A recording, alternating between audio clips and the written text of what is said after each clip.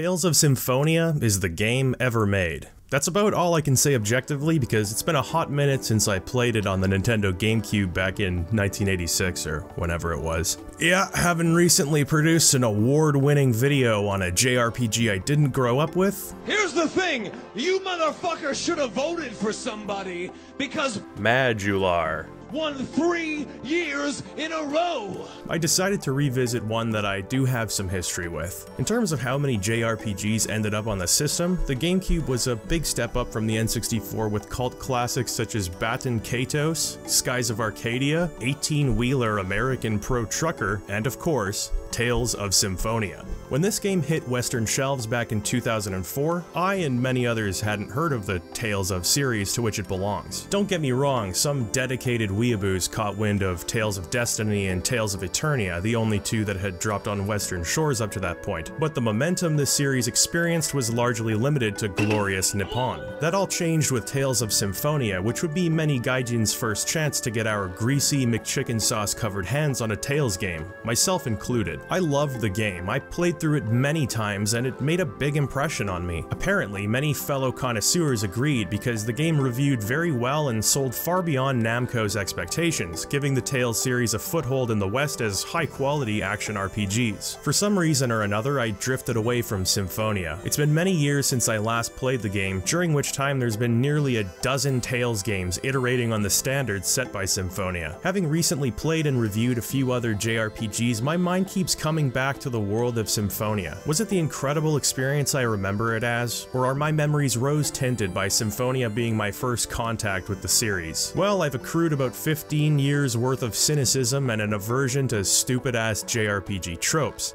Courage is the magic that turns dreams into reality. Ugh. The question is, can Tales of Symphonia overcome these hurdles and justify the pedestal it stands atop in my mind? There's only one way to find out. Watch a two hour video of it on YouTube. Oh shit, I have to make it? Now before talking about the game proper, let's talk about some of the technical differences between releases. I originally played the game on GameCube, but the game also saw a port to PlayStation 2 in Japan. In 2013, this PS2 version was ported to the PlayStation 3, along with the game's Wii exclusive sequel in Tales of Symphonia Chronicles Chronicles. This version, which came with some additional content and optional Japanese voice acting, was the basis for the PC version released on Steam in 2016, which is the version that I'm playing. Improvements over the original GameCube release included better animations, new abilities, new side quests, and many other little touches, but if you ask me, GameCube is still the definitive version. Why? Because A, this dungeon has a little rotating GameCube in it, which is adorable, and B, because the GameCube version is the only one that runs at 60 FPS. That's right, every subsequent subsequent release of this game runs at 30 FPS, including the PC version. There are mods that implement some fixes, but as far as I understand, the PS2 version, which all subsequent releases were based on, has its animations tied to the lower frame rate, so there's effectively no way of unlocking the FPS without breaking the game. Now, this isn't world-shatteringly awful to me, but given that the game's combat system is action-based and reflexes do matter, feels noticeably stiffer compared to the GameCube release. I hadn't played the game in many a year, but muscle memory kicked in and I felt like something was wrong throughout the entire experience. The other thing to mention is... Alright, I'm just gonna come out and say it. I'm playing the game in English. Yeah, yeah, I know. I'm I'm sorry, okay? I get it. I know you look, please calm down.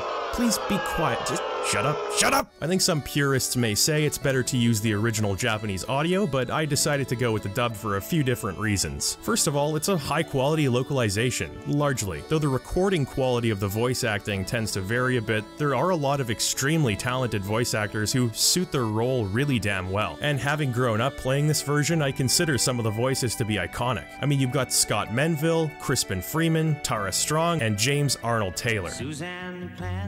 No, not James Taylor, James Arnold Taylor, just to name a few. It's a stacked cast, and while not every single one of them hits the mark, they're largely giving excellent performances, so it'd be a shame to disregard it out of a preconceived notion that English dubs are inherently inferior. That brings me to the second reason I have for choosing the dub here, which is that as a native English speaker with no grasp on the Japanese language, my ability to judge performances would be limited. When speaking, there are nuances and inflections which can change the listener's understanding of a statement statement. Knowing a language is critical to picking up on these subtle cues. Now, don't misinterpret what I'm saying here. There are times where I'll choose the original Japanese audio, and I don't think there's anything wrong with doing that. If your goal isn't to critique like mine is, not being able to nitpick the individual components of someone's speech isn't really a problem. And it's true that oftentimes the original Japanese performances are obviously superior to the localized audio, even if you can't understand what they're saying. I am free.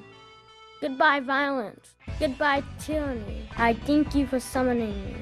You may receive my compliments. I just wanted to have this preamble in here so people can understand why I made the choice that I did. There was a legitimate effort to bring the English voice acting up to par, and as a result, it's the intended way for the Western audience to experience the game. So that's what I'll be judging. Without further ado, let's get into the game. The game begins with a short sequence in which Liquid Snake explains some lore. Once upon a time, there existed a giant ocelot that was the source of detonation codes. The long and short of this story is that once upon a time, a great tree filled the world with mana. The mana gave rise to what's known as Magi technology, the central cause of a very long and bloody war, which itself drained the mana, causing the tree to die. Eventually, the war was ended by a now legendary hero named Mithos, who sacrificed himself in order to save the tree. A goddess named Martel fell into a sadness-induced sleep, I feel that, and told her angels, You must wake me, for if I should sleep, the world shall be destroyed. That's the background for the game, at least the beginning. Now, you might have some questions about that, but for now, just try to see it as a creation myth. Enjoy it for what it is, because I promise I will stumble over myself with unkempt hair and a loosened tie explaining to you the intricacies of the story later on. So, as a result of all that, a chosen one must periodically make a dangerous journey around the world, unlocking a series of seals and ultimately becoming an angel, which wakes Martel, so to speak speak, and buys the world a bit more time. It's an interesting idea for a chosen one. Usually in stories where someone is born with the mark of the gods or something, there's a finality in what they're doing. Yeah, you're putting yourself through hell and battling against impossible odds, but the world will be saved in the end. In Symphonia, the best the chosen can hope for is staving off the inevitable for a bit longer. Factor in that the chosen's success isn't a guarantee. In fact, there have been more failed chosens than success stories at that point, and it adds a layer of doom and gloom, a kind of futility utility. We are introduced to four of our leading characters at this point who I'll briefly introduce for you. So you got the protagonist, Lloyd. Uh, I mentioned in the Legend of Dragoon video, just to reiterate, Lloyd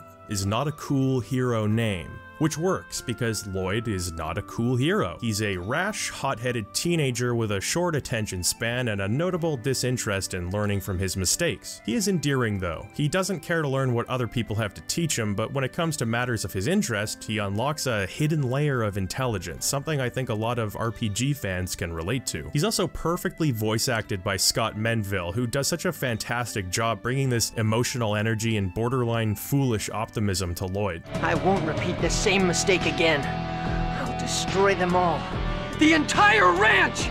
Lloyd, that's insanity. We also have Genis, Lloyd's best friend, the only elf in the village other than his sister Raine. By the way, I was recording this at the same time as all the other things. I didn't just remember that Raine was also an elf and add this in afterwards. Genis is a genius, surpassing Lloyd's intelligence by a country mile but matching him in childishness. Counter to Lloyd's unfettered positivity, Genis is a bit more neurotic and prone to pessimism. What rolls off Lloyd's back, Genis carries with him, which makes them a good team. Genis' depth of knowledge keeps Lloyd's emotion-driven plans in check, while Lloyd's hopeful outlook is therapeutic for Genis' permanent anxiety. Then there's Raine, Genis' older sister and the only teacher in their home village of Iselia. Raine is intelligent, calculating, and far less prone to wearing her emotion on her sleeve than the boys, until there's some matter of academic importance, then she starts spanking ass and taking names. Though she's Genis' sister, it's obvious that she's just as much a mother to him. Having been abandoned by their parents and being being the only two elves in the village, Raine is highly protective over her brother. Finally, there's Colette. She's bright, cheerful, and just as driven by optimism as Lloyd, but without all the hot-tempered baggage. She's clumsy and a little naive, but selfless to a fault. She puts herself through hell for other people, and as the current chosen one, it's her duty to do just that. Those are the current four main characters. As the story goes on, their personalities evolve and their quirks begin to make more sense, so we'll revisit them throughout the video, but this should be enough to give you an idea of who they are. A class being taught by Raine is interrupted by a brilliant light, which is referred to as the Oracle, which means that it's time for the Chosen One's journey to formally begin. As Raine heads to Iselia's temple to see what's going on, we take control of Lloyd, never one to let an opportunity go to what the fuck is that? Never one to let an opportunity go to waste, Lloyd convinces Genis and Colette to cut class so they can see what's going on. Movement throughout the game's towns and dungeons is about what you'd expect, though it's floatier than I remember. It might be a result of the frame rate, but it doesn't have the tightness I've come to expect from later Tales entries. You fly about 30 feet when you tap the joystick, which can be an issue when you're doing something that requires precision, like identifying uncles in the desert. But overall, it's not too bad. There's no jumping or anything like that, so interaction with the world is a little limited, but the game finds ways to make areas kinda interesting. More on that later. With monsters invading the village, this is also our first opportunity to try out the combat.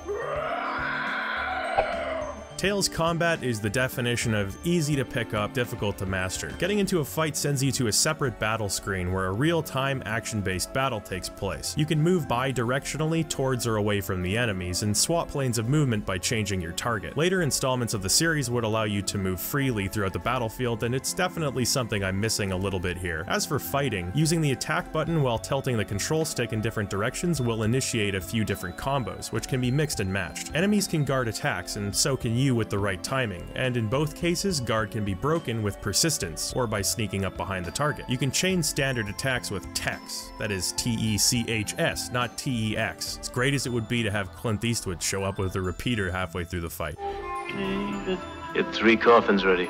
Are Symphonia's version of character abilities. Just for some examples, Lloyd's techs are all melee based, used to link attacks together and increase the combo counter. Genis uses magic spells which take time to prepare but dish out reasonably high damage, especially if the element of the spell is an enemy's weakness. Raine uses status buffs and healing spells, and Colette sort of serves the role as the bard, a utility character that can help party members, hinder enemies, and use all sorts of helpful abilities. When the battle concludes, you're given a grade score based on your performance. Grade has a variety of uses I'll mention later, but suffice to say, it incentivizes you to rack up your combo score and otherwise not play like a jackass. In the beginning, the fight system is pretty limited. You have a very small roster of abilities to use, and it can be frustrating to swing your sword forever, unable to break an enemy's defense. However, like many aspects of this game, the battle system eventually unfolds into something deeper than it initially appears, but it takes a while to learn some of the more useful abilities. It's also worth mentioning that you can play as any character on your team. They all have their own unique but viable playstyle, and it can be fun to switch things up to see how other characters play. You can even connect a second controller and have a partner jump in for some co-op battles. It may be personal preference, but I find Lloyd to be the most fun to play by far. While many characters rely on spells with long casting times or slow-moving attacks, Lloyd's playstyle is quick and dynamic. He's got a huge variety of abilities that can be used on the fly, such as Tempest, which sends him flying through the air, slashing an enemy while landing behind them, or Beast, which unleashes a lion's spirit to knock enemies onto the ground. With Lloyd, you're acting quickly and in response to an enemy's movements, which gives it a bit more of a fighting game flavor, but I can see how more tactically minded players might enjoy some of the other characters as well. Some other nuances worth mentioning are that there's a short time limit in between item uses, which is totally fair. Otherwise, you could just spam healing items, which isn't appropriate for an action game. You can order other characters to use certain abilities on a whim or prevent them from using less useful skills, both extremely helpful. Why are you using Fireball? You've got Super Mega Giga Fireball Extreme Edition, Also, when you knock an enemy down, there's a brief period of near invulnerability for them. I understand why this is necessary, otherwise knockdown moves would just be way too strong, but it feels endlessly unsatisfying to knock an enemy down, and then all of a sudden, Genis decides to do something other than Fireball, but it doesn't end up doing any damage. That's kind of a brief summary of the battle system. I'm of the mind that you can't really accurately know what an action-based battle system is like through description alone. It's something you intuitively pick up on while you play, but I hope you kind of get the gist. It's a good battle system. There are a lot of improvements made in later series games, but I can't fault Symphonia, because it did a really good job of translating the Tales battle system to 3D, so much so that it was the basis of the series combat for almost decades now. The fighting is never boring, there's always a new tech waiting to be uncovered or a super boss to train for, and I'm playing on normal. There's also a hard and mania difficulty. Even hard threw me for a loop. You have to start thinking really critically about which party member is doing what. It almost kind of reminds me of Baldur's Gate, having to pause to strategize. If you beat the the game on Mania, hey, kudos man, couldn't be me, but I respect the grind. So where was I? Oh yeah, so Yuri and Flynn are at odds over how to deal with the Don Whitehorse situation. Oh, hold on, wrong game. Sorry about that. So if you got into this point, you can either choose Hanako or Lilith. No, that's not it either. Oh, here we go. Tales of Symphonia. Right, I don't know how that happened. The group heads to the temple to find it under attack by Desians. Now, what are Desians, you ask? They're magical half-elf Nazis that only materialize when the world is in trouble. By completing the trials of the Chosen, they'll theoretically be sealed away and the land will return to peace. Doesn't make a whole lot of sense that they're attacking the temple though, since Iselia has a non-aggression treaty signed with the Desians. But that's the thing about magical half-elf Nazis, you know? Can't trust them. The group tries to put a stop to the Desians but is beaten down pretty quickly. A mysterious mercenary named Kratos, yes, it's Kratos, not Kratos, a mercenary named Kratos swoops in and saves the day. Kratos is cool and voiced by Liquid Snake, that's Cam Clark. In one of his more grounded performances.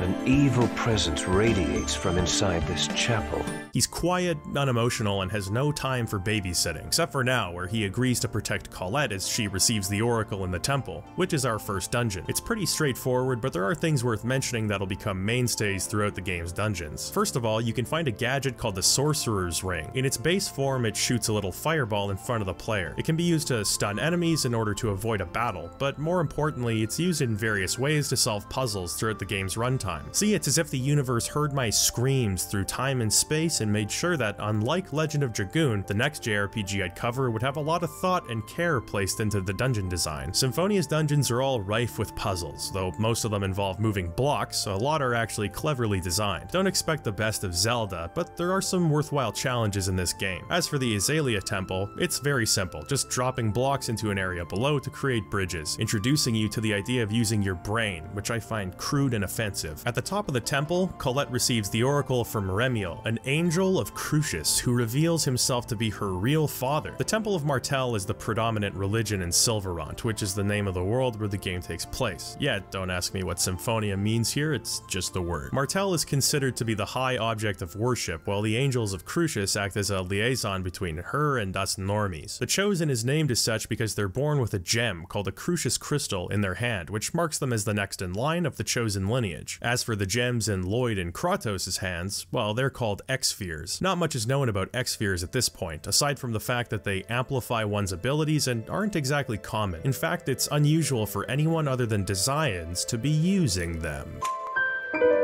With the Oracle received, the Tower of Salvation appears in Sylvarant. This marks the final destination of the Chosen's journey and is generally seen as a symbol of hope in troubled times. Back in Iselia, Kratos has been enlisted as Colette's protector alongside Raine, and Lloyd manages to convince the trio to let Genis and himself join up too. They agree to meet back in the village in the morning, and Lloyd heads home to his adoptive father's house in the woods. Genis asks if he can tag along since he has a stop to make. That stop? Magic Nazi Camp. See, the Desians run these facilities called human ranches, which are as they sound. Basically concentration camps for so-called inferior beings to work themselves to death. It's actually quite disturbing considering the cutesy presentation of the game's visuals, and they don't pull any punches as far as showing the cruelty of the Desians. It's not just a run-of-the-mill POW camp, there's torture, beatings, and some other fun things we'll touch on later. Genis wants to stop by because he's made friends with a prisoner by the name of Marble. He's been bringing her his school lunches and keeping her company because she's an old lady, and old ladies deserve to have their surrogate grandsons bring them Lunchables in the death camp. Oh, excuse me, summer fun camp. While visiting, Lloyd notices that Marble has an Exsphere, but without a fitting device called a key crest, the Exsphere is extremely volatile and dangerous. Unfortunately, Marble is spotted not work, uh, not having fun with the other campers and is dragged to the center of camp to be given a stern talking to. Lloyd and Genis manage to distract the guards long enough to abate her beating, but Lloyd's face is spotted by the Desians, which is a huge problem for a variety of reasons, not the least of which being the now broken non-aggression treaty. But with the Desians having attacked the temple earlier and thus breaking the treaty themselves, Lloyd figures this won't come back to bite us in the ass in an event that'll kick off the central conflict of the story, will it? As an aside, it's an interesting dynamic having the Desians be half-elves. These guys are violent, totalitarian assholes, hell-bent on their own racial superiority and the subjugation of all others. It's not something you'd expect to see from half-elves, who themselves are often portrayed as the ones rejected by both humans and elves. Never mind the fact that the minute they have children, they'll be quarter elves, and I guess the discrimination will end. It turns the tables in an interesting way, especially considering the vast majority of Sylvarant's inhabitants are humans. They're losing a battle in a land that's entirely theirs, almost like it was destined to be this way, and as a result, human hatred against half-elves is extremely prevalent as well. It's an endless cycle of hatred, which becomes a strong theme in Symphonia as the game goes on. So Lloyd heads home to his aforementioned adoptive father, Dirk. Dirk is a dwarf, one of very few in the world, and as such has access to arcane crafting techniques, such as fixing my bike chain and creating key crests. Lloyd requests Dirk make him one, and Dirk is none too happy to find out that Lloyd has been to the ranch. This leads me to my first major criticism of the game, and that's the presentation of its in-game cutscenes. Symphonia sometimes uses anime-style scenes to convey major story events, and they're beautifully done, even at the lower resolution. But more often than not, story events occur using in-engine cutscenes, and they're far from perfect. What's good is that the voice acting carries the emotional intention of these scenes. It's always on point and does a great job of making you care about what's happening. The Exsphere is your mother's keepsake. The Desians killed your mother in order to take it from her. They did? Symphonia exists in this really awkward period of JRPG storytelling. It was after the zoomed out text box based cutscenes of the SNES PS1 days. With those cutscenes, your imagination tends to fill in the blanks of what's occurring on screen, bolstered by the art style and soundtrack. You could almost say it's like a visual novel. It's a style of storytelling that's perfectly serviceable without some of the pomp and circumstance that modern games tie to cutscenes. In the case of the latter, higher budgets have led to impressive animations or motion capture in some cases. When it comes to conveying major plot beats, it should either be shown or told with great clarity, and Symphonia exists in a middle space. It's a visual game, with changing camera angles, character models, and animations, so you can't very well have a text box explaining what someone is doing. On the other hand, it's so hamstrung by its limited animations and simplistic chibi-style characters that it's often difficult to deduce what someone is doing. I mention it now because this Dirk scene really awkwardly conveys the relationship between Dirk and Lloyd. Just watch. Don't go throwing either away. So will you make me the key crest? Boy, have you been listening at all? Yeah, I heard you. But you can't expect me not to do anything now that I know. Ah, you don't have to hit me!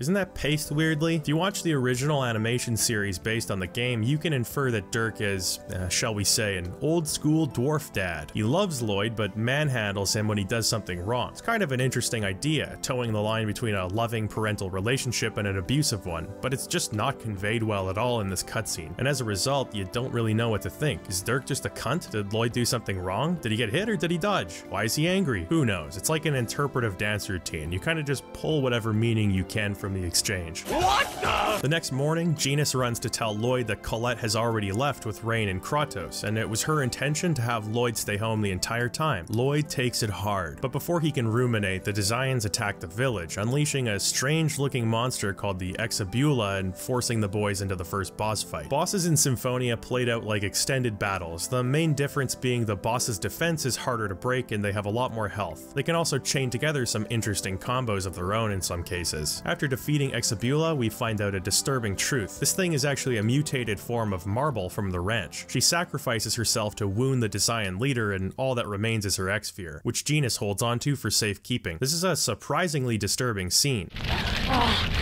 Run away, Genis Lloyd. Well, what was that voice? It sounded like marble. It can't be. Oh, oh, oh, get away! Hurry! Genis, you were like a grandson to me. Thank you. Some sad, innocent old woman was transformed into this Junji Ito monstrosity, and all she could do in the end was die. Kinda makes you wonder what the purpose of the human ranches actually are. What the hell are they doing over there? The wounded Desian leader is named Forcystus, and he's one of the five Desian Grand Cardinals. Isn't that great? You know you're playing a JRPG when the game straight up tells you there's gonna be five villains. Yeah, right, you expect things to stay that simple? There's more than five villains in this game, trust me. How many? Let me think. I can only guess somewhere in the neighborhood neighborhood of 14 to 18,000. Forcystus tells Lloyd that his Exsphere is special and he'll be pursued endlessly as long as he has it. Lloyd is exiled from his village and Genis follows him. With nowhere to turn, they decide to catch up with Colette's entourage. I like that the game begins in a more traditional way before revealing some of the darker toned aspects of the world. I mean, you literally start the game goofing around in class, learning about the Chosen One. Then it's all like magical elf Nazis, work camps, directed by John Carpenter, everybody hates you, Genis needs to shut the fuck up. You got rejected! That last one is just me. But it's a sorry start to what feels like it should be a grand adventure. Lloyd's joining his friends just as much out of necessity as a desire to help, and that's with the knowledge that Colette's journey is statistically likely to fail. At this point, we're free to use the world map and explore a bit. It's a pretty basic overworld map with optional locations and battles along the way. It's a little annoying that the camera is zoomed in, but you're given a broader view if you can find a long-range stone, which lets you use Lloyd's dog named Noishe to ride around. The game largely lives up to the promise of a world map, letting you find secret items, hidden locations, and giving you methods of transportation later on. Symphonia front-loads the desert area. It's our next destination. Hey, that's fine with me. I hate desert levels, so it's best to get it out of the way while I still have energy and life within me. We head to the town of Triet in pursuit of the Chosen One, but Lloyd is tased by Desians and locked in a prison cell somewhere in the desert.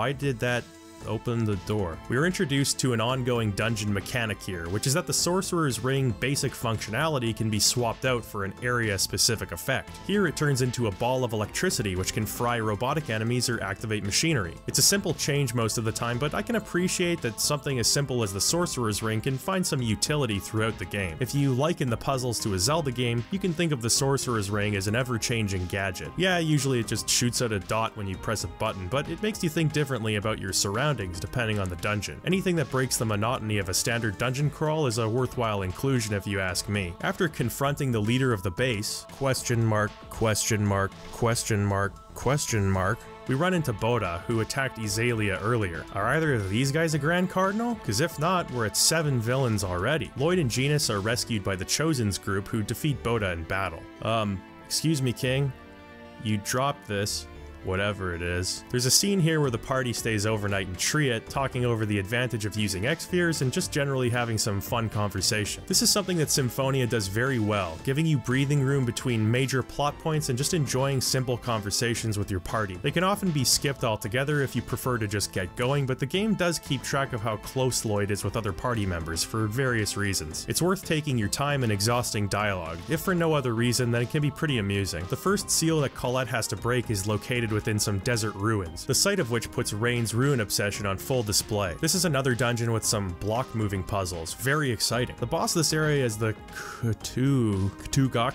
and its children, which is actually a pretty tough fight for this early. It's one thing fighting a boss when you can just wail on a single enemy. It's another altogether having to keep track of multiple enemies while avoiding their attacks and only delivering punishment when it's safe. After the fight, Remiel appears and grants Colette her first blessing on the way to Angelhood, which is the ability to sprout wings. She can fly now, and there are about a thousand times throughout the game where it would be extremely convenient if she would, but chooses not to. I guess she wants us to build character through hardship. She collapses from a disease that Raine designates as angel toxicosis. Ocean madness. It's as though breaking the seals is putting stress on her body. The next step is heading to the Seal of Water located across the ocean. On their way to a nearby village to charter a ship, the group is confronted by a mysterious big anime titty ninja. You just know she's going to be a major character because she's voiced by Jennifer Hale. Prepare to die. You don't waste Jennifer Hale. The question is, why would somebody want to stop the Chosen One from completing their journey? In the Desian's case, it makes sense because once Colette's journey is complete, their reign of terror ends. But for everyone else, you'd want to support the world not dying, wouldn't you? Across the ocean, the party arrives in Palma Costa where they bump into another group impersonating the Chosens. I love these guys. Great Value brand Genis is my favorite. He looks like an Estonian dwarf. There's a shopping district in Palma Costa where you can buy a variety of things, including ingredients. See, in Tales of Symphonia, you can actually make food after a battle or on the overworld map. Food can replenish health, TP, boost stats temporarily, or cure status effects. Each character has varying degrees of talent in making certain foods, and they all have their own eating preferences. Eating preferred foods is one of several ways that a character can increase their tension points, which, once at a certain threshold, activates something called Overlimit in battle, which gives a character a brief period of invulnerability. It's not majorly game changing, but the inclusion of cooking is a fun little way to add loot variety and a convenient way to stitch your party up after a fight. In order to learn new recipes, you have to find the Wonder Chef. He's hiding in cities, disguised as mundane objects, and he doesn't mess around when it comes to cooking. Where's the lamb sauce? I just need a. Where's the lamb sauce? Right here, chef. Fuck off you, you fat useless sack of fucking Yankee danky doodle shite. The city is at war with the Desians. Unlike Iselia, there's no peace treaty, so Palmacosta's Governor General Dorr has heroically taken up the mantle of battling them. Well, actually, he's been selling out his city in secret while funneling tax dollars to the Desians because they've promised him a cure for his Junji Ito wife. On top of that, unbeknownst to him, his daughter was killed by the Desians years ago, and they've had this thing looking fine as fuck might I add, posing as her and spying on Dorr the entire time. Dorr is a fake hero with a real problem. His wife is one of those mutant things, and I can understand doing anything to save someone you love, but in doing so, he's put his own people at risk. In fact, some of them have died because of him. The rational mind would probably deduce that the magic elf Nazis are lying. You could give him every red cent in your city, and you'd still be just short of a cure. But with his wife looking like this, you can understand why rationality doesn't really play into his decision decisions. Something Tales of Symphonia does often is divert your attention from the clearly laid out goal and make you solve an immediate problem. This isn't uncommon in JRPGs, and some people might call this filler content, but I certainly wouldn't label it that way here. I see this often when people talk about TV shows or anime as well. This is a filler episode, they say with disdain. Then I say, no, this is a pillar episode as in the whole series would collapse without it. Then everybody claps. The filler sub-story is an incredibly useful device, especially in the JRPG genre, where your characters are arguably the most important tool in your belt. On a surface level, these sub-stories introduce you to concepts that have only been mentioned in passing, or sometimes characters that'll have a larger presence later. But more importantly, they allow characters to develop in more subtle ways. If we just continue on to the Seal of Water and unlock it, Lloyd will get overly excited and bored quickly, Raine will go goo eyed over the ruins and start spanking everyone. Genis will make some calculations about the water's oxygenation levels or something, and Kratos will go, humph, fools. But with a variety of side stories not necessarily related to the overarching goal, we can expand our understanding of characters by how they react to situations. For example, as Governor General Dorr lay dying, he asks if his daughter Kilia is still alive. Despite the fact that she most assuredly is not, Lloyd tells him that she is still alive and promises to protect his family. Now the story could have been that Dorr is just waging a war against the Desians and we help him win the day, but then we would have missed out on this moment, which tells us a lot about Lloyd. Unlike Colette, Kratos, or Raine, Lloyd believes that lying can be justified if the emotional stakes are high enough. A moment ago, he was furious about Dorr taking advantage of Palmacosta, but his disposition softens as he looks at the dying governor. Lloyd is driven by emotion, but sympathy or pity seem to take priority over anger for him, which is an important distinction to make when you refer to someone as emotional. I just wanted to mention this because I think Symphonia diverts course with intention. These pivots from the main story are never a waste of time, they always serve some kind of purpose. So the local human ranch is led by one of the five cardinals named Magnius. Hey, apropos of nothing, doesn't he look like Tuco? Unlike Forcestus, Magnius is a hot-headed individual who doesn't make his anger a secret. He takes many citizens of Palmacosta prisoner, sending them to his Hidden Valley human ranch, one of those prisoners being a girl named Chocolat, who is very nice to us. So it's time to make like Avalanche and go commit some good guy terrorism. Magnius Ranch has us activating radar with the Sorcerer's Ring to go through a maze of teleporters. Yes, I Aside from moving blocks, Symphonia likes to use mazes of different kinds more often than I'd prefer. Factor in these radars are color-coded and I'm colorblind and don't know what the fuck is going on. I just wander around until I end up in the right place. As it turns out, Chocolat is Marble's granddaughter. She finds out, without context, that Lloyd is Marble's murderer and refuses to be saved by him. Well fine, take your chances with the magic elf Nazis, see if I care. After being defeated, Magnius realizes that he and Forcestus have been deceived in some manner. Before he can do anything about it, he's contacted by one of the other Grand Cardinals, a character named Rodyle. Collecting gold for me, attempting to eliminate the chosen for me. You've been quite useful, Magnius. Hey, I recognize Daran Norris's voice anywhere. I'm respecting your privacy by knocking, but asserting my authority as your father by coming in anyway! Rodyle is hilariously evil. His intentions won't be known for some time, but for now, his evilness is more than enough for me. That wraps a bow on the Palmacosta arc, but before moving on, I want to mention another thing Symphonia does to expand on characters efficiently. While walking around, you'll be given a chance to trigger optional scenes called skits, in which some talking heads of the characters converse with each other. There's a surprising amount of depth added to the characters' personalities with this method, mostly because it shows how they would talk to one another, rather than just a Lloyd or as a group. With skits, you get the chance to see how characters talk about things like the food they like, or hardships they've gone through in childhood, or cracks in their guise. I would go so far as to say the majority of character development occurs over the skits, all completely optional, all done with nothing but a handful of JPEGs. Unfortunately, they aren't voiced in the English dub like they are with the Japanese, which is something I do think really weakens the dub. But it's still fun to see all these little scenes, many of which are hidden away with various Onward to the Seal of Water, much to Raine's chagrin as she's afraid of water. Ah!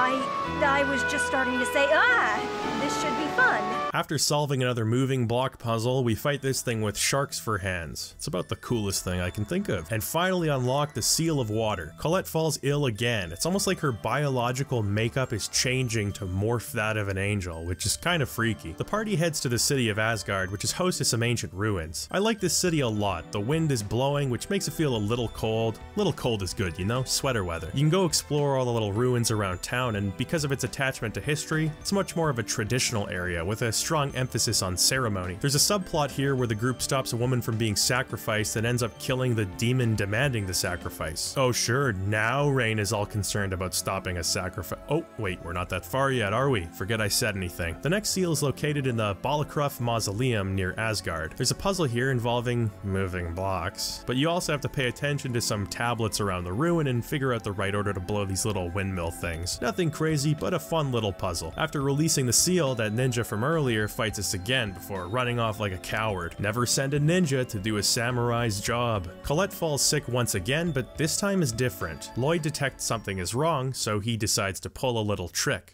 Here, it's hot coffee. Thanks. Ooh, Hot, isn't it? Yeah, really hot. It's actually iced coffee. What? I had Genis make it cold. Oh, yeah. Of course it's cold. I lied. It's actually hot. Yeah, really hot. It's actually so cold, I promise. Yeah, it's really cold. I lied. It's actually so hot. I don't really get it. Lloyd, please stop. Shut up. Where do you get off? You're a worthless jerk who couldn't give up her social status even for her own wife. So it turns out that Colette is literally losing her humanity as she becomes an angel. She can't eat, she can't sleep, her sense of touch has disappeared, and she's just been dealing with it like a man. That is to say, bottling up all her negative feelings and letting them out in subtle, passive aggressive ways that sabotage all of her personal relationships before retreating into alcohol. Okay, well, maybe it's more accurate to say she's been dealing with it like a champ. There's something that Colette's parents, Raine, and Kratos have all been acting really skittish over when it comes to Colette's journey. Could it be her losing her senses? Or something much, darker. Fortunately, to counterbalance the negative aspects, becoming an angel has granted Colette with some amazing abilities, along with improved eyesight and hearing. Heading to the nearby town of Luin, it seems like a disaster has struck. Desians have razed the town to the ground, taking the inhabitants to the nearby human ranch. We find the assassin gravely injured and looking distraught before healing her and learning that her name is Sheena. You can actually arrive in Luin earlier and find the town in perfectly fine shape, with shops, an inn, and Sheena mingling with the townsfolk. It's very easy to miss this scene, but it provides valuable context for why Sheena is here, or even cares about the town. You kinda have to make your own conclusions if you show up after the town's been destroyed like I did. Speaking of which, there's a metric shitload of missable cutscenes and side activities in this game. I'll talk about some of these in greater detail later, but here's an example for now. Shortly after you leave Luin, you can return to find someone soliciting donations. You can return periodically to Luin, dropping off money, and watch as the town is slowly rebuilt to its former glory, and then some. Nobody ever tells you this is the case, you can easily just leave the destroyed Luin at this point and never return. It's a bit of a double-edged sword if you ask me. I always have respect for the courage it takes developers to make large chunks of content that could easily be missable, which is sadly why the design philosophy of, say, mm, modern Bethesda games seems to make sure you'll never have to do a second playthrough. Stumbling across things you haven't seen or taking a branching path can be exciting and encourage replayability. On the other hand, it's a bit disappointing to complete the game and find out you missed some really juicy, major content. It's one thing if you got a few side activities, but there's so much stuff that isn't even hinted at in this game, you'd have to scour the world endlessly to see it all. Now 14 year old me would have no problem jumping back in for 10 replays, but these days there's just too much to play and too little time. The party enters an uneasy alliance with Sheena, though I do find it a bit weird that her motives aren't questioned, at least not for a long time. I figure the first thing Kratos would ask is, hey, why are you trying to kill us? But there's a, eh, we'll sort it out later mentality here that doesn't make a whole lot of sense to me. Sheena's got a pet named Corrine, a lab-grown creature that's developed a relationship with her. It's basically a Pokemon. The party head to the nearby human ranch, but the way is blocked. Gee, I wonder if this giant fucking sewer grate with a cartoon boulder in front of it will ever have a part to play in our infiltration. A man named Pietro supposedly holds the key to infiltrating the ranch. The only problem? He's brain damaged, which hasn't stopped me from making it this far. We need a unicorn horn to heal him. Hey look, a unicorn, only it's at the bottom of the river. As it happens, Sheena is a summoner by trade. Summoning is a lost art and it requires some very specialized training. The summoned spirit of water would be able to rescue the unicorn, so the party heads back to the Seal of Water and lets Sheena perform her summoning ritual. The spirit of water, Undine, is already bound to someone by a pact, Mithos, who you may remember as the hero who ended the ancient war. But no, they say, it couldn't be that Mithos, they must just have uh, the same name. Let me tell you something, you son of a bitch. I've played enough JRPGs to know that there are no coincidences, other than a little Deus Ex Machina to get heroes out of a jam. But I digress. The party defeats Undine in battle, which convinces her to form a pact. When Sheena forms a pact with a summoned spirit, she's then able to use its abilities in battle for a large TP cost. The snag is that she can only use them if she's currently in an overlimit state. Once again, I understand the need to balance this, but overlimits are pretty rare unless you know how to exploit the tension system, and the damage output of a summoned spirit doesn't justify how seldom you get to use one. At any rate, Undine frees the unicorn, which gives us its horn. Everybody lives happily ever after, except for the unicorn because it dies without its horn. Gee, great work gang, any other endangered species you'd like to wipe out to have someone tell you, this is the secret entrance? So the ranch is infiltrated through the giant boulder grate. Heading to the factory section, we're confronted by the Grand Cardinal Kvar, who reveals some disturbing information. First of all, the nature of an Exsphere. It's not just a gem, it's a parasitic organism. They're fitted to host bodies where they feed on the life force of that individual until they become strong enough to be extracted and used. If an Exsphere without a key crest is removed at this point, the host's mana drains suddenly and they turn into a monster, like Marble. So essentially, a key crest allows you to use an Exsphere rather than have the Exsphere use you. That's pretty screwed up, and the party is suitably alarmed to hear of this, especially when Kvar reveals to Lloyd that his Exsphere contains the life force of his mother. That's Lloyd Lloyd's mother, not Kvar's, who was killed by his father before Lloyd was abandoned. Yeah, I would have a lot of confusing feelings on that. As Kratos later mentions, there's absolutely no way in hell they would have gotten this far without using the Exspheres, and the damage has already been done, so to not use them would arguably be a waste. On the other hand, the principle of using human life in this way is so unethical that to participate in it, even indirectly, might be a bridge too far. It's an interesting question the game poses and refers to several times, and I think which side of this debate you'll land on will just come down to your own principles. It all comes to a head when the party defeats Kvar in battle, effectively avenging Lloyd's mother and also freeing the prisoners from Luin, however few might remain. Kratos, you pathetic, inferior being! Pathetic, inferior being! Feel the pain of those inferior beings as you burn in hell. The second to last seal is located in the Tower of Mana, a abandoned library and research facility. Releasing the seal once again causes Colette to fall ill, this time losing her voice. What's wrong, Colette? It's pretty heartbreaking seeing her try to speak but having to write words on Lloyd's hand. Lloyd has already been Colette's voice in some sense up to this point, this just makes it official. He starts off mouthing each letter, but to be honest, I'm glad they speed it up by just doing entire words. As much as we all love Colette, I don't think I could handle conversing with her like Stevie from Malcolm in the Middle. A guy goes into a bar and he. Wait. I screwed up.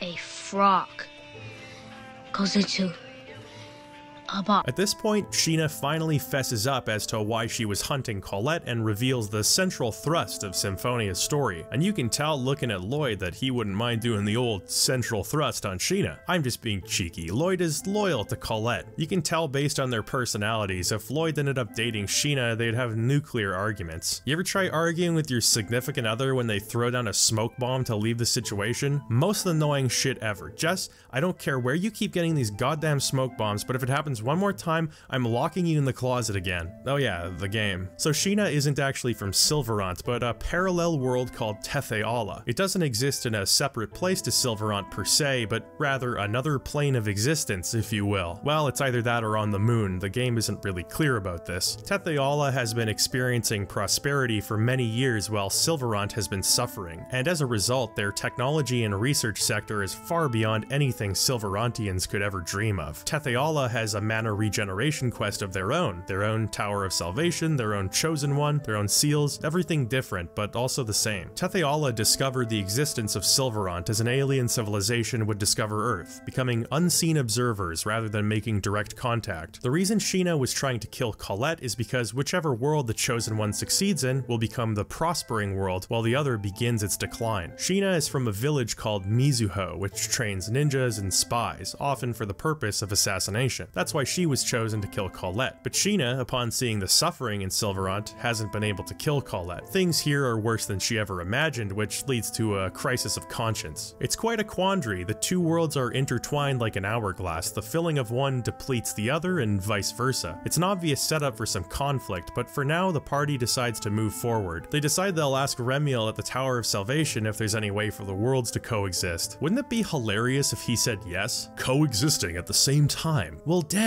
we never thought of that. Hey, you guys are pretty smart. Dave, get over here. Come listen to this. Listen to what? Go ahead, Lloyd. Tell him what you told me. We're going to look for a way to change the two worlds.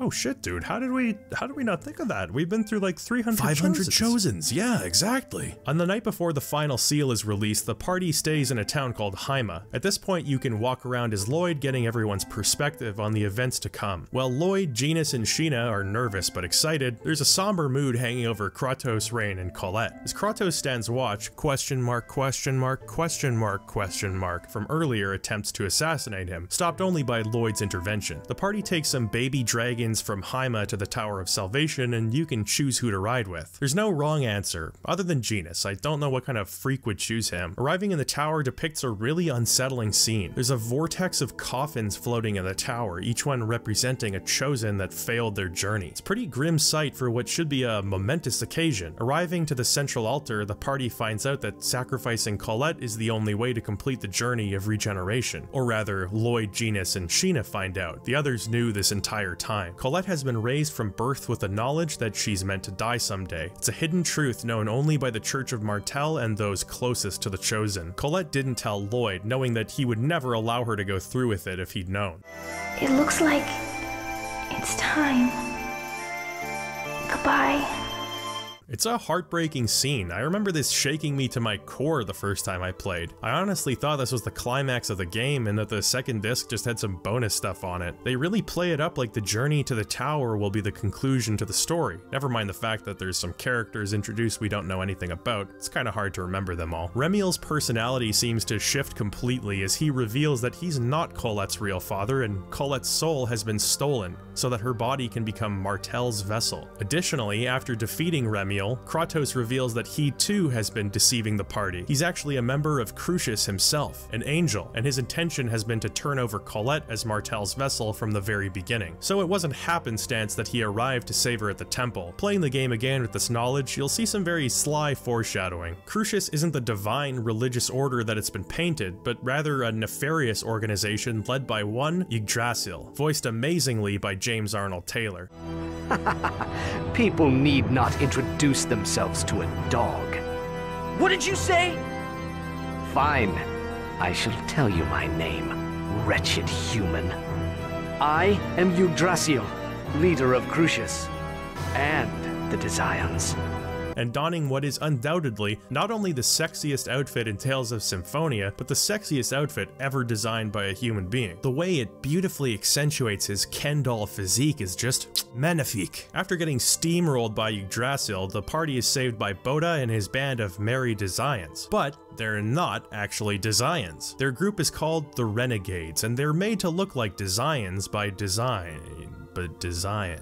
Back at their base, we learn further truths. The Renegades are under the employ of one Yuan Ka Fai, otherwise known as question mark question mark question mark question mark question mark. The Renegade's only task is to prevent the resurrection of Martel at all costs, which is why their organization stormed the temple in the beginning. The Desians and Cruxis are actually just different ranks of the same organization. Both groups are half-elves, with some exceptions, the difference being that Cruxis has evolved their biology using Cruxis crystals, which allow them to effectively become angels. Come on, you didn't seriously think I'd get through a JRPG without having to describe an overwhelming plot dump, did you? Get into the spirit of things, slap on your cosplay. Come on now, I'm not even close to done yet. The Desians haven't been trying to kill the Chosen One at all. In fact, it's their prerogative to keep Colette alive and guide her to the tower, since that's the will of Cruxis. When exposed to mortal danger, Colette's Cruxis crystal becomes stressed and fuses with her, making her body more conducive to the role of being Martel's vessel. That's why the Desians appear in the declining world, in order to amplify that suffering and urgency. The reason that Yggdrasil split the world in two, well, let's just say for now, it was a necessary action to keep Martel's soul alive. Martel exists in a delicate balance between Sylvarant and Tethe'alla. Breaking each seal exchanges the flow of mana, which is what causes one world to flourish while the other is exhausted. On top of keeping Martel alive in a fragile balance, the two worlds vying for mana prevents either from advancing their Magi technology to such a stark degree as to compete with Cruxis. Technological progress is intentionally stifled, which is just a convenient side effect of keeping Martel alive. Now, you don't receive all of this information at once. Some of it is peppered in during dialogue throughout the next act, but I think it's easier to get it all out of the way now, rather than having to stop and make an addendum every 12 seconds. It's dense, it's melodramatic, it's the first of many plot twists. It's a JRPG, what can you say? The story isn't told with much grace, which is doubly true when you consider the questionable quality of the cutscenes. But as I've mentioned, the voice acting sells it. These are pretty huge bombs to drop on the player, and it ups the ante to an extreme degree, which is a positive when you have a long, story-based game on your hands. In fact, my main problem is that there isn't enough of an in-depth explanation here. Most of these things are only touched on a surface level. I feel like they could have used Lloyd's inability to pay attention as a decent excuse to get into a bit more detail, but much of it is breezed past, seemingly under the expectation that the player will just accept what they don't understand and move forward. Well, they're right, because that's what most people will do, but I would have appreciated a glossary of some kind. There is a synopsis which fills you in on the broader points of the story, which is definitely helpful if you take a break and don't remember where you left off, but it doesn't get into the minutiae of the plot. Once again, God bless the wiki contributors. There's lots of great information here if you don't mind reading blocks of text. And if you do, well,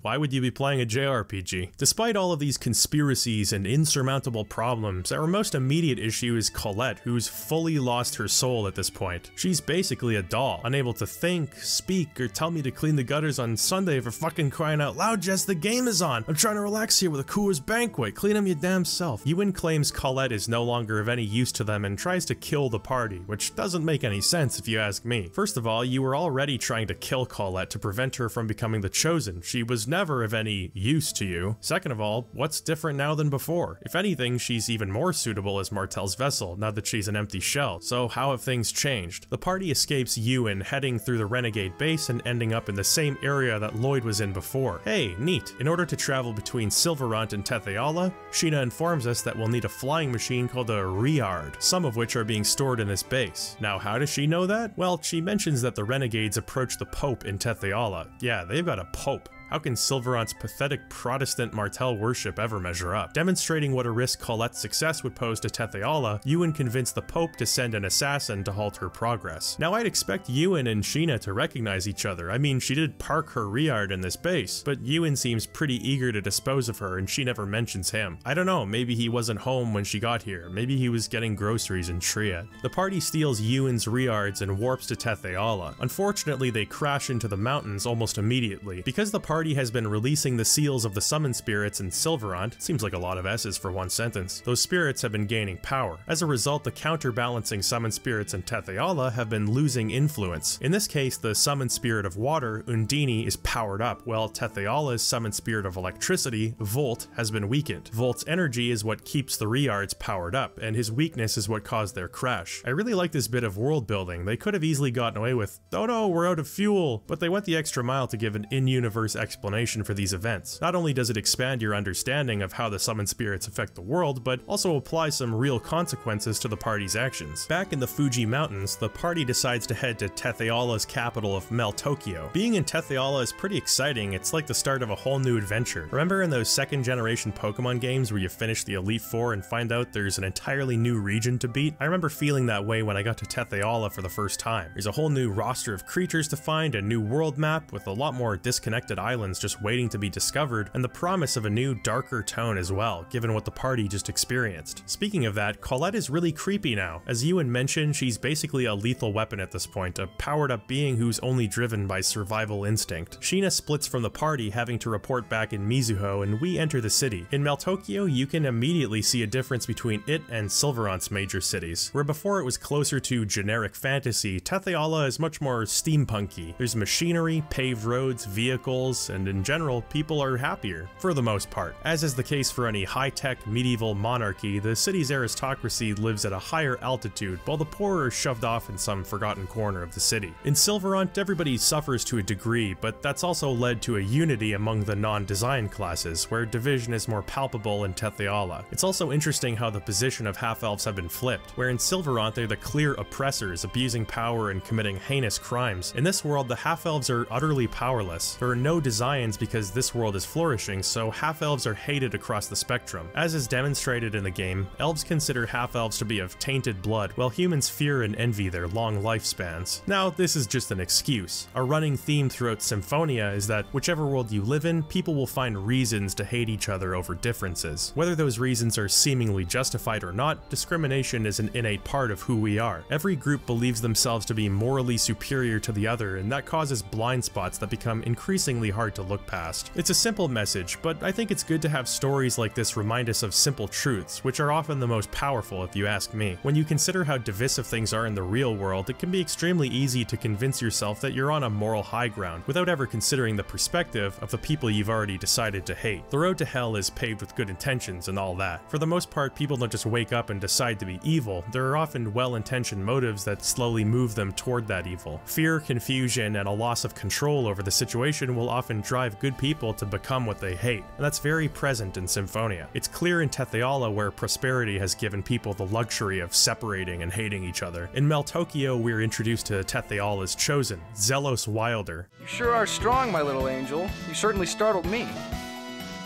Well, who are you? No offense, but I'm not interested in talking to guys. He's probably not what you were expecting. Yeah, he's a flamboyant, womanizing smartass, at least on the surface. There's more going on underneath his dopiness, which makes me like him as a character. If nothing else, he's reliably some comic relief. We're also introduced to Presea, who helps us get into the castle so our situation can be explained to the king. She's a lot like Colette, weirdly doll-like, robotic, soulless. She uses a comically large axe in battles, one of my favorite characters in combat. She's really good. Why does she join the party, you ask? Nobody knows, we just sort of kidnap her. After waiting in the castle for a while, a deal is struck. The Pope will allow Sylvarantians to travel Tethe'alla, trying to find a way to return Colette from her angel form. In return, Zelos will keep tabs on them, ensuring that she becomes a human again so she can't finish her journey as the Chosen. So Zelos formally joins the party. You can think of him as a replacement for Kratos, a melee-focused character who has some useful utility spells as well. We take the bridge to the Imperial Research Facility, and let me tell you, this bridge is the longest fucking bridge in video game history. And the music that plays is so weird and depressing.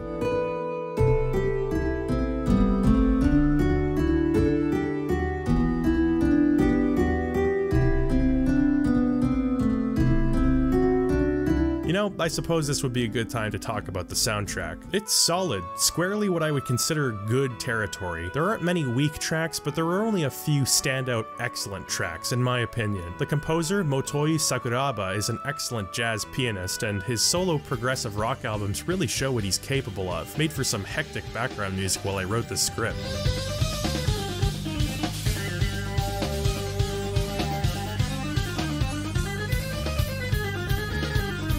Symphonia's soundtrack has a lot of range. You have the avant-garde jazz of the track Struggle to Survive, which features some odd time signatures and an anxiety-inducing melody.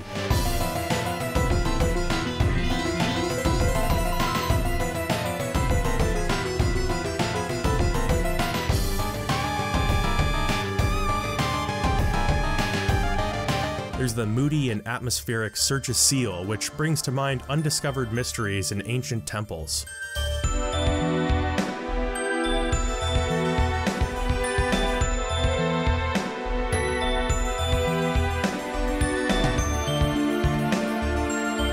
The emotional weight of this track is heightened considerably in Tethe'alla. A military snare drum is introduced to assert order, and periodic key changes uneasily shift from fear to hope.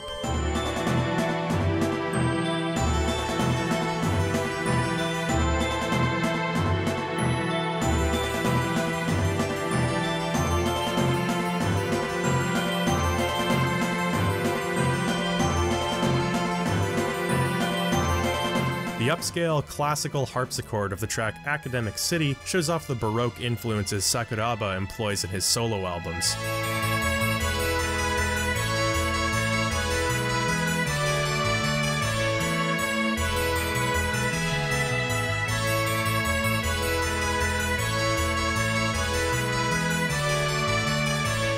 And finally, just because I love it so much, the track Deepest Woods perfectly frames the village of Ozette, a sad, quiet little nook where people aren't long for this world.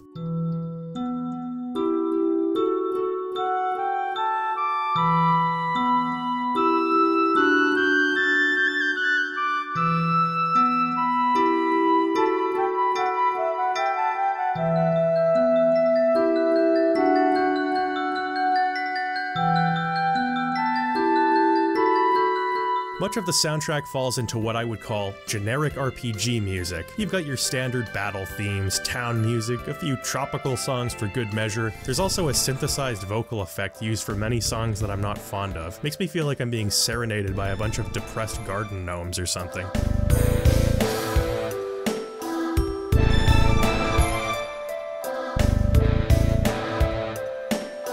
So we arrive in the town of Sybak, home to the Research Academy, where we can hopefully learn more about Colette's problem. They figure that attaching a key crest to her Cruxis crystal might help her regain control of her body, but it doesn't work. Lloyd's craftsmanship is lackluster, the kind of guy who charges $35 on Etsy for a picture frame made from pipe cleaners. The only person who can really work with key crests is Dirk, Lloyd's father in Sylvarant, but without Volt's energy, getting back will be impossible. To make matters worse, the Pope's Knights find out that Genis and Raine are actually half-elves half-elves and arrest them. It's interesting how brazenly Zelos dislikes half-elves. He's grown up surrounded by this type of discrimination, and it's not something he can easily let go of. As the story goes on, Zelos sympathizes with Genis and Raine and comes to see them as friends, but remarks that he still doesn't like half-elves. There's no single moment of revelation or a big character moment where everybody hugs and lets bygones be bygones. Genis acknowledges that being hated by humans in both worlds makes him want to hate humans back, but acting out this hatred would only vindicate humans. It's a bit of a catch-22. Anyway, the party rescues Genis and Raine, Sheena rejoins us, and it's back to the Fooji Mountains to grab the Rheairds. In order to get them working again, Sheena will need to form a pact with the summoned spirit Volt, which she's really standoffish about. Unlike Undine, something about Volt sparks fear in her. You see what I did there? Volt sparks fear? High IQ humor, not for everyone. Back in the mountains, the party is trapped in this whack-ass crystal prison. Both Yuan and the leader of the Desian cardinals, Pronyma, approach the party. Yuan wants Lloyd, get in line, bucko, and Pronyma wants Colette. When she attempts to remove Lloyd's half-assed key crest, Colette springs to life and stops her. Lloyd tries to attack Yuan, but is stopped by stupid sexy Disco Kratos. Leave, Yuan. Lord Yggdrasil has summoned you. Lord Yggdrasil? Okay, Yuan is an angel too? What are you doing?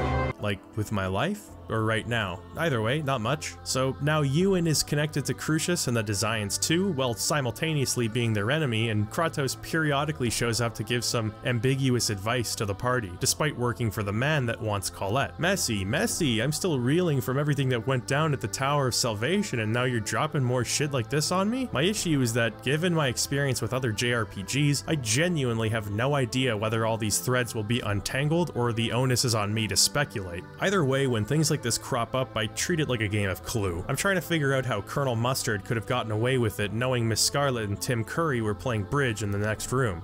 Space! Maybe they'll explain it, maybe they won't. I'm just having fun guessing. Oh yeah, the party keeps forgetting about Presea, which makes us kidnappers on top of being wanted by the Tethe'alla authorities. With the bridge patrolled by the Pope's men, the party need to find a way to cross the sea to get to the northern continent. Zelos has a contact who can help us out, but Meltokio's city gate is blocked off by guards. You know what that means?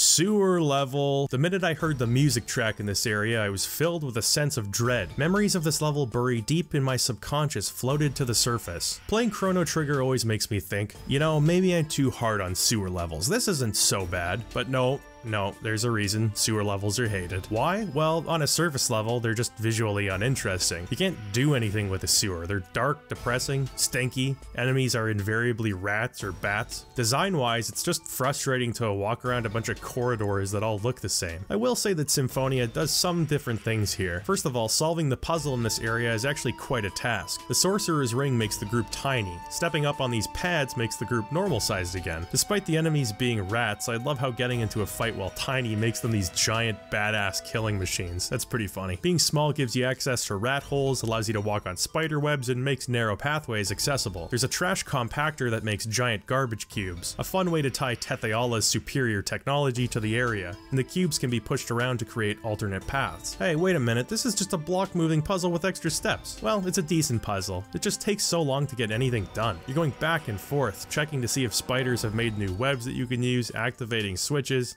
feels never ending. Finally, at the end of the dungeon, you're accosted by some prisoners led by a handsome blue-haired gentleman who has his own jazz theme music. They were sent by the Pope with the promise of their sentences being lightened if they killed the Chosen, but they're not too much trouble for the party. Heading to the laboratory in Meltokio, the party is given the Wing Pack, a tiny capsule that can magically store a boat. While we're in the city, let's stop at Beltion for some items. Or, I am, yeah, I am, come in. The Wing Pack is a goofy idea, but it is pretty handy. Most of the time when you get a boat or an airship in an RPG, you have to go find where you parked it when you want to leave again. In Symphonia, you just take the vehicle with you, so you can whip it out whenever you want. Along with things like mapping party members' moves to the trigger buttons and having a quick jump option to get through areas faster, you can see how this game came out at the beginning of the quality of life era. Hey, are you watching this video in one sitting? It's time for a little intermission. Fix that upper back posture. Relax the tension in your shoulders. Unclench your jaw.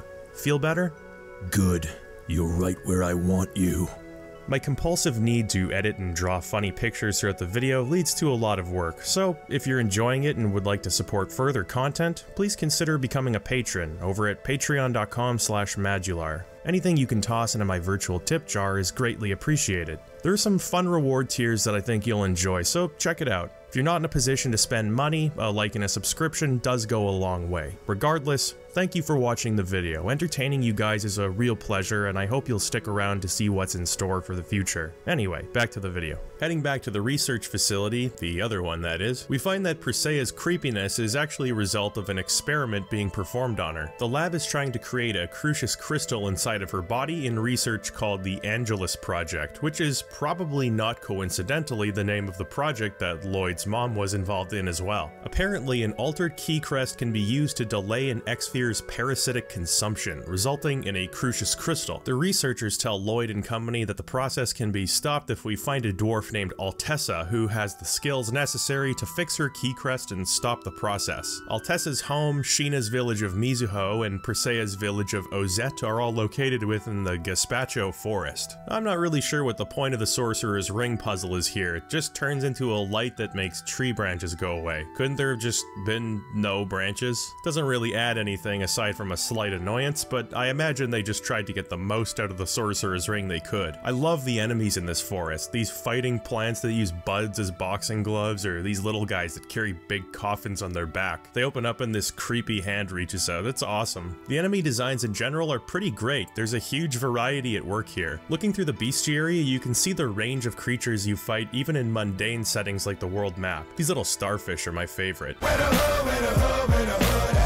There are some recolors, which I think is to be expected in such a long game, but in general, I can't even imagine how long it would have taken to model and animate such a massive number of monsters, all with their own techniques and weight class. It's a real display of imagination. In the forest, a boss fight occurs with that blue-haired character from earlier. He's knocked unconscious, and the only person who hasn't skipped leg day in the group is Colette, so she slings him over her shoulder like a sack of potatoes, and they head to Mizuho before the Pope's Knights arrive in the forest. Man, Tethe'alla has all the luck. Sylvarant get stuck with all these generic RPG towns, but here we've got Tudor London, University Town, seaside resorts, a flying city, and of course, Mizuho is the obligatory feudal Japanese themed village. The people of this area are brought up to essentially be ninjas, so they're understandably none too happy when Sheena brings a ragtag group of teenagers and a fugitive to their secret village. Oh sure, there's a problem with us, but you let any old furry just walk in and set up camp. Oh yeah, if you're wondering what's with these giant cat people, they're called cats, and that's not a costume, they're actually a race separate from humans or elves. Why doesn't anybody discriminate against them? They show up uninvited to towns and cities, soliciting donations for their scam business ventures. Well, actually, it's not a scam. You can pay them to explore the map or find treasure, but I never really found that a compelling use of GALD, which is the currency here. It's like gold, but you pretend you're from Minnesota when you say it. You bet is mainly used to answer questions.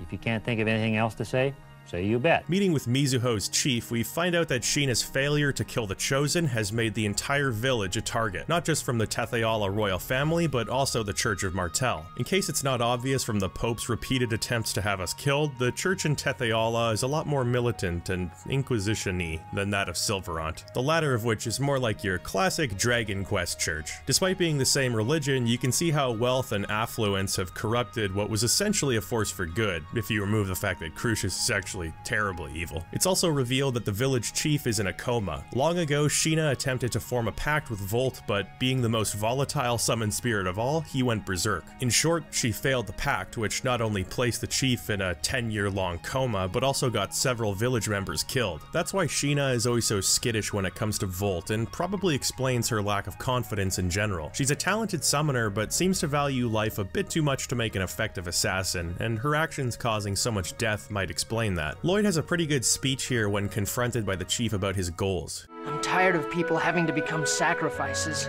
I'm tired of discrimination. I'm tired of people becoming victims. I'm tired of it all.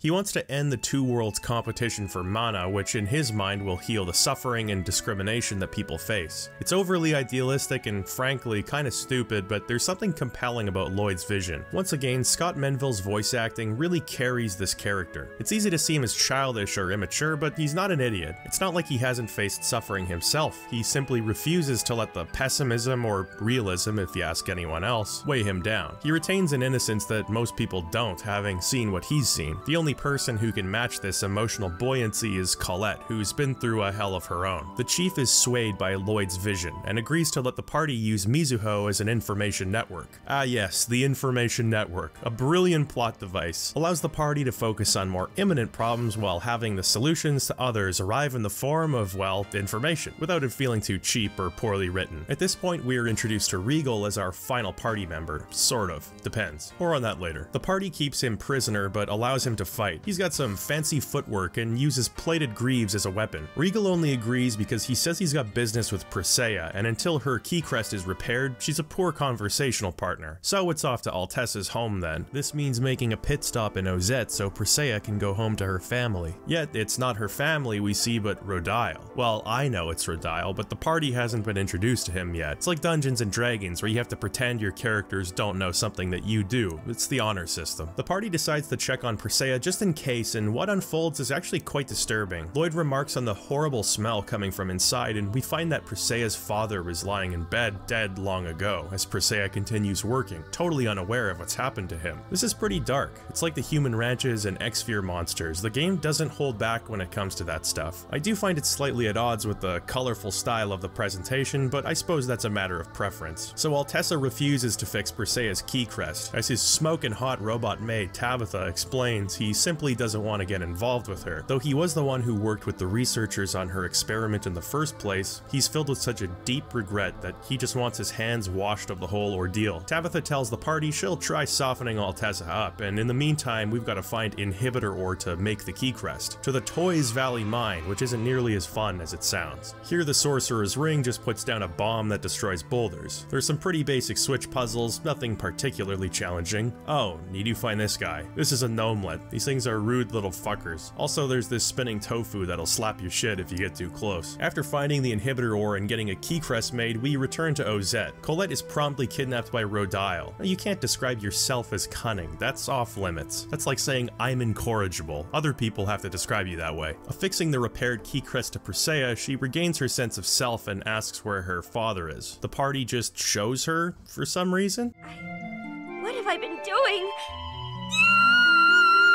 I feel like that would be a good time to just explain to her or warn her first, but they're like, oh, come on in, we'll show you. Doesn't really seem like a better if you see it yourself type moment. Presea explains that after her father fell ill, she needed to learn how to use an axe to take her father's place and provide for him. Unable to lift one, she was given an Exsphere by a man named Vharley, this guy, who was in cahoots with Rodyle. She was taken to the research academy where the experiments began, which means it was actually under the Pope's orders that the experiment was carried out. Mamma mia! So the Pope, Rodyle, and Vharley are all working together in some capacity. Rodyle is one of the five Grand Cardinals, so he's working with the Desians and by extension Cruxis, only we saw him gloating at the deaths of several of the other Grand Cardinals. It seems like the Cardinals were duped by Rodyle into believing that Colette should be killed when normally the Cardinals would want a successful chosen alive at all costs. Will you tell me what the hell is going on?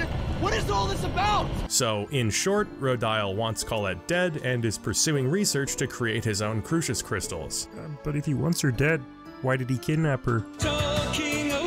So anyway, Regal asks Presea if she has an older sister. She says, no, I have a younger sister. Regal's like, damn, okay, well, that's all I wanted to know. Instead of leaving the party, he sticks around because of a vendetta against Vharley. Presea sticks around because, well, she doesn't have much going on anymore. Mizuho locates the Rheairds, which means it's time to form a pact with Volt. Sheena is understandably terrified and refuses to form a pact, but Lloyd and Corrine manage to convince her to face her fears. As you travel through the Temple of Lightning, there's a real sense of impending danger. I already mentioned the music for these dungeons, but it's really thematically appropriate in this case. There's hope and courage, but deep unease at the same time. Precisely what Sheena must be feeling. The puzzle here is kind of interesting, but the major sections of the temple are separated by these dark rooms you have to traverse repeatedly. I feel like I'm gonna have a seizure. There's no block moving, but there's plenty of block destroying. Confronting Volt, Sheena's worst fears are realized as he goes berserk once again, killing Corrine and injuring the party. There's a lot of energy going into this fight. You really want to see Sheena overcome this hurdle, and having her best friend die puts a lot of emotional emphasis on the occasion. For the sake of everyone that risked their lives to protect me, Volt, I demand your power!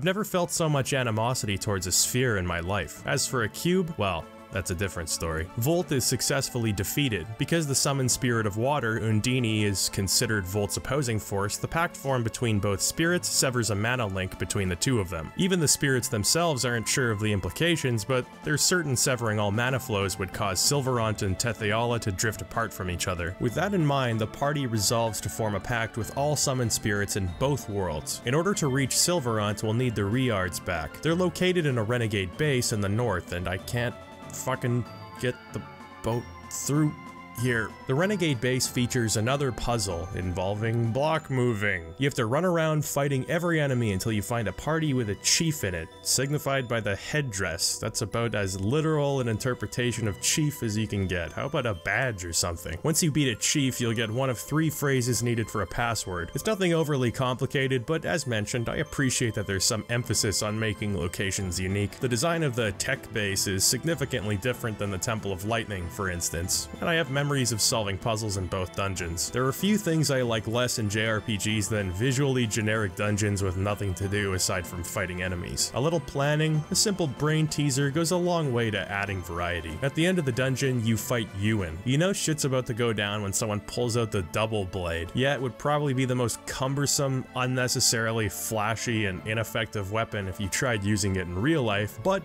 it's cool.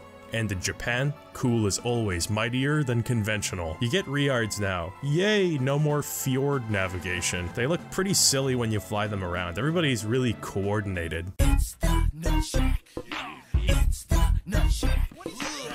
But now you can start visiting islands or blocked off sections of the map, previously inaccessible, so that's pretty cool. First things first though, we've got to rescue Colette. She's being kept in a dragon's nest that took me about 30 goddamn hours to find. Just ask for directions. No, it's fine. I know where we're going. No, there's somebody right there. Just ask. I know where we're going.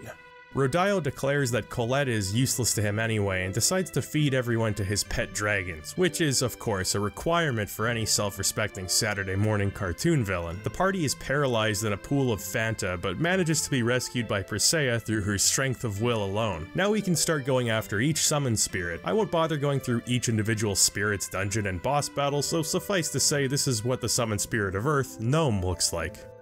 Yeah. Now, we're told that he's responsible for gravity. This is common knowledge for Sylvarantians too, which raises the question, how do they know about Tethe'alla's summon spirits? They don't even know about Tethe'alla, other than an elite few, and there are occasionally references to certain things that only inhabitants of Tethe'alla would know about. It might be a minor gripe, and I think you could easily explain by saying some spirit seals have never been found, but nothing like that is ever said, and it's a minor irritation to me. The dungeon for the summoned spirit of ice, Celsius, Tethe'alla measures temperature in kelvins confirmed, has one of these puzzles. You know, where you pick a direction and can't stop until there's something in the way. I hate these, man. I hate these more than words can say. After dealing with Celsius, the party sees smoke coming from Ozette, and heading there reveals its destruction. This is brutal. Why does every town we visit end up getting destroyed? In Ozette, we find a passed out boy named Mithos. Now I know what you're thinking. Hmm, Mithos is an ancient hero. Mithos holds pacts with summon spirits. But let me assuage your worries. Mithos is a perfectly common boy's name in Tethe'alla. It's like Jesus or Jesus, you know? Never mind the fact that this is a work of fiction and could use any number of names, so there's no reason to create such a coincidence. It's definitely a coincidence. He's a half-elf who lives on the outskirts of the village and tells us he saw angels of Cruxis raise the village to the ground. He's deeply afraid of humans and can scarcely believe that Genis and Raine are traveling with such a group. Genis and Mithos make fast friends, and it kinda reminds you, oh yeah, Genis is like 10 years old. It's actually atrociously irresponsible to even have him on the journey. He should be at summer camp or something, learning how to start a fire, ah, whatever.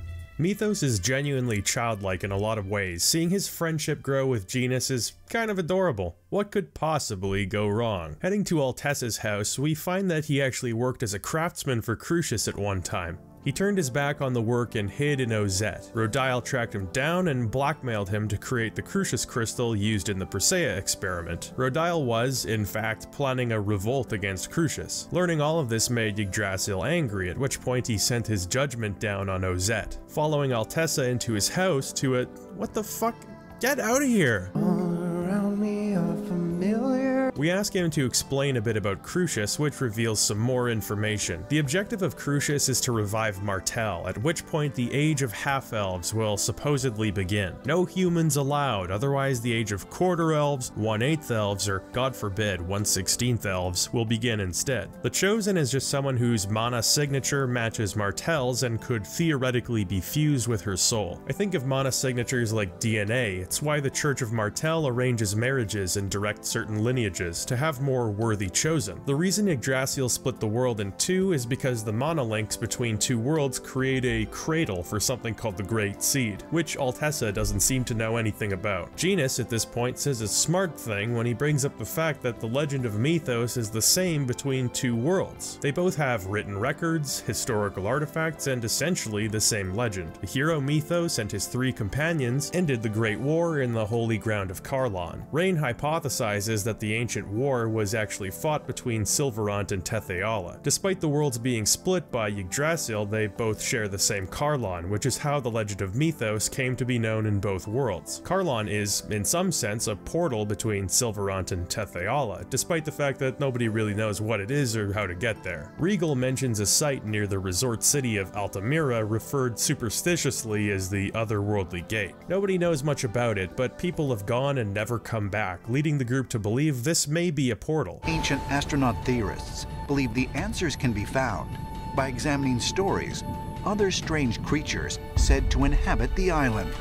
Creatures like the Adaro.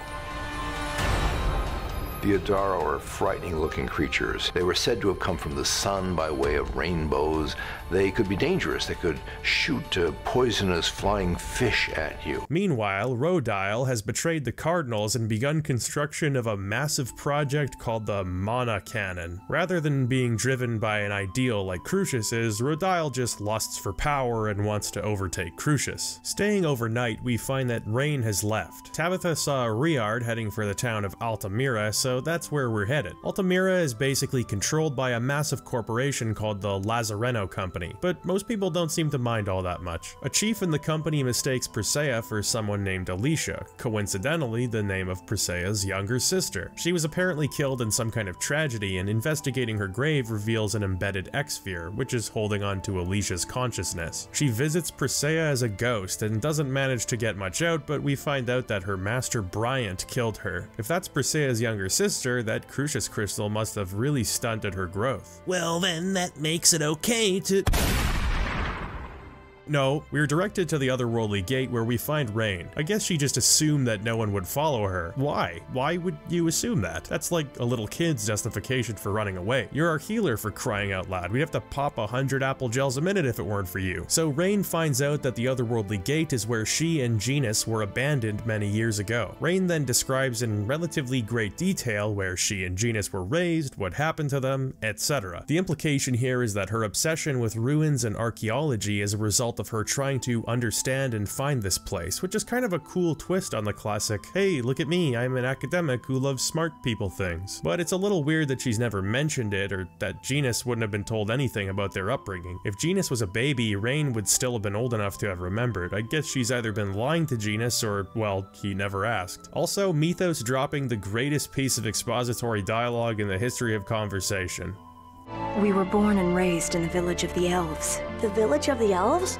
Secret village said to be off limits to anyone except elvenkind? Uh, no, a different one. The party is then confronted by Sheena's childhood friend, Kuchinawa. He's joined forces with the Pope in order to track the party down. The Catholic Church joining forces with the ninjas. This is a sight you never want to see. Apparently, he's still sore about his parents dying when Sheena failed to make a pact with Volt. Before Kuchinawa has a chance to exact his revenge, a full moon activates the otherworldly gate and the party is farted out near Palmacosta, where they drop Mithos off to be babysat. By the way, all of these loose ends in the plot will later be sorted out with side quests. The party runs into Yuan who again plays things up like he wants an alliance. We've gone from foes to friends to foes to slightly bigger foes and now we're friends again. There's absolutely no reason to trust this guy, but with no other leads, Yuan is the party's best bet, I guess. Yuan explains that the Great Seed is the final seal, necessary to reunite the worlds. Would that that the Great Seed could germinate and become the Great Kharlan tree once again, there'd be more than enough mana for both worlds to flourish. The thing is, oh, for fucking crying out loud, here we go again. The thing is that Derris-Kharlan, which is actually Cruxis's base of operations, is itself a giant mass of mana. If that much mana were concentrated on the Great Seed, it'd grow to become the Great Kharlan tree, but Yggdrasil can't do that because all of that mana is being used to sustain Martel's soul for resurrection. Her Cruxis crystal is fused with the Great Seed. If Martel awakens, the Great Seed will disappear, and if the Great Seed germinates, then Martel will disappear, so it seems like a bit of a precarious situation. So, how do they keep her asleep? Angel roofies. The purpose of Cruxis is maintaining that delicate balance, while Yuan and the Renegades want the Great Seed to germinate at the cost of Martel's life. Okay, so they're the good guys. Why the fuck do you keep trying to kill us? We fight angels, we fight God, we're your best bet. Please stop trying to have us murdered. You know, I don't think the story's bad. It makes a lot of sense once you stop and make all these connections, but I can't help but feel there's some unnecessary misdirection going on. The game subverts your expectations twice an hour. It's making everybody hard to trust, which is fine depending on the tone of your game, but does kind of remove the shock of future plot twists or the excitement of a plot explanation when you're expecting one every 20 minutes. This isn't a 90 minute film noir, it's a 50 hour long RPG. The party decides to seize Rodyle's mana cannon in order to stop him from dooming the world, and using it ourselves if necessary. Rodyle's ranch is straight up structured like a Pokemon gym. Why did he build it this way? In order to reach the control room, they'll have to pass a small variety of simple brain teasers and mildly annoying challenges. Oh, how delightfully devilish, Rodyle. Reaching Rodyle, he uses a Cruxis crystal on himself and becomes, oh my. Is this permanent? Because it seems like the ones that turn people into angels are a lot more convenient, and not just because you can keep your opposable thumbs. I'm a little curious, given that Desians are half-elves hell-bent on the resurrection of Martel, how did he convince so many Desians to work for him on the Mana Cannon? And wouldn't abandoning both Martel and the Great Seed cause the end of the world? Oh, minor concerns in the name of evil. We defeat Rodyle and he sets off a trap which fills the room with seawater. Botta and two of his men arrive just in time to deactivate the self-destruct, but must sacrifice themselves in the process. Why did he need two of us? Why couldn't I just stay home? Just when things are looking grim for the party, Mithos arrives on a Rheaird to save everyone. I'm so happy we're friends. Oh, well, that tears it. Mithos is evil. Prepare for the Mithos is evil revelation, everyone. With the Renegades as allies, we can use their dimensional transportation system. This means going back and forth between Sylvarant and Tethe'alla whenever we want. We've got to deal with the remaining summon spirits, which means returning to some of the earlier seals, meeting the world's only North Dakotan summon spirit, Okay then, we'll test out your power. and dealing with the summon spirit of darkness. He was split into five pieces, so we have to collect them all and guide them back to the altar. Their pathfinding really leaves something to be desired. Come on, move it. Move your fucking ass. No, why are you? The world really opens up at this point, allowing you to pursue side activities or mini games that were previously inaccessible. I'll cover them all in one large section, but just know that you can pump the brakes on the main story here. It's a much needed bit of breathing room. Making a pact with the summoned spirit of light severs the final mana link, which causes the great seed to go completely out of control. The links acted as a cage to keep the seed in place, without which it's germinated and engulfed Martel. According to Yuan, we'll have to use the mana cannon. Apparently firing it at the tree will cut off its mana source and force it to stop growing. Also, Yuan has been manipulating Rodyle into building the mana cannon this whole time. What an unnecessary plot twist just to toss it in there. Really doesn't add anything to the story. The Azalea Human Ranch is still directing mana flow to the tree, which needs to be cut off. Lloyd volunteers, since that's where Chocolat is being kept. Yeah, remember her? Remember when the story was about the Chosen One saving the world? I remember. Infiltrating the ranch, we save Chocolat and confront Forcystus, another memory from the beginning of the game. It's kinda cool that we've come full circle here. It's been so long that you can easily forget that Forcystus is even a character. Back when we first saw him, we had no frame of reference, so it was easy to assume that he was the primary antagonist at that point, before getting embroiled in all this angelic craziness. So I like that some 30 hours later, we're finally back to deal with him. You learn through an optional skit that Forcystus is considered a selfless war hero among half-elves, once again hammering home this notion of moral relativity in Sylvarant's world. In a different world, maybe they could have been allies. Sheena uses her summon spirits and the mana cannon successfully stops the great tree. The Great Seed is once again bound in the holy ground of Kharlan. What the? For that, I owe you my gratitude. Thank you.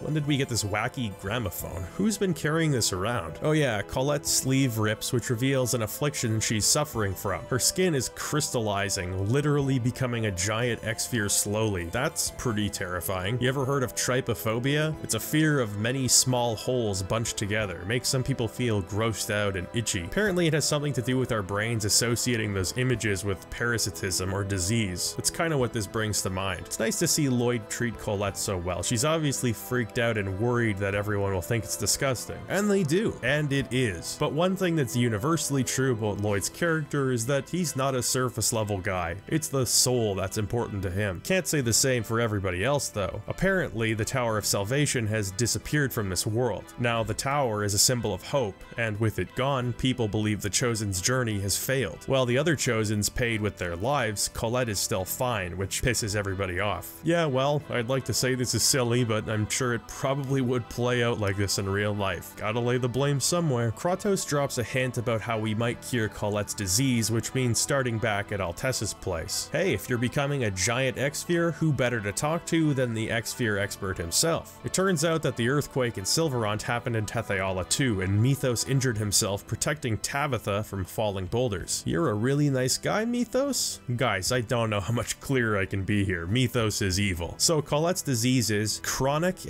Angelus crystallis inefficium. Can we dumb it down a shade? How about honeycomb arm or Soraya Swiss? You know, because there's holes in her arm. Altessa says if we can find records of others suffering from the affliction, he'll have a better idea of how to cure it. So we head to the library in a nearby town. There's a book which describes in great detail how one of Mithos' companions had the condition. Now that I'm thinking about it, they really blur the line between legend and reality with that whole Mithos backstory. In the beginning, the whole Mithos thing is stated like it's a myth from ages past. Then they start talking about how they're historical artifacts proving how everything went down. Now we literally have books at the local fucking library describing in detail what Mithos' favorite cocktail is and how his sister dealt with her crystal skin. If the information is this readily accessible, you'd think it'd just be common knowledge. With further reading to be done and information located in Meltokio Castle, it's back through the sewers. Here we encounter Vharley doing some shady deals in the sewers in what amounts to the most awkward and unceremonious scene of vengeance I think I've ever seen.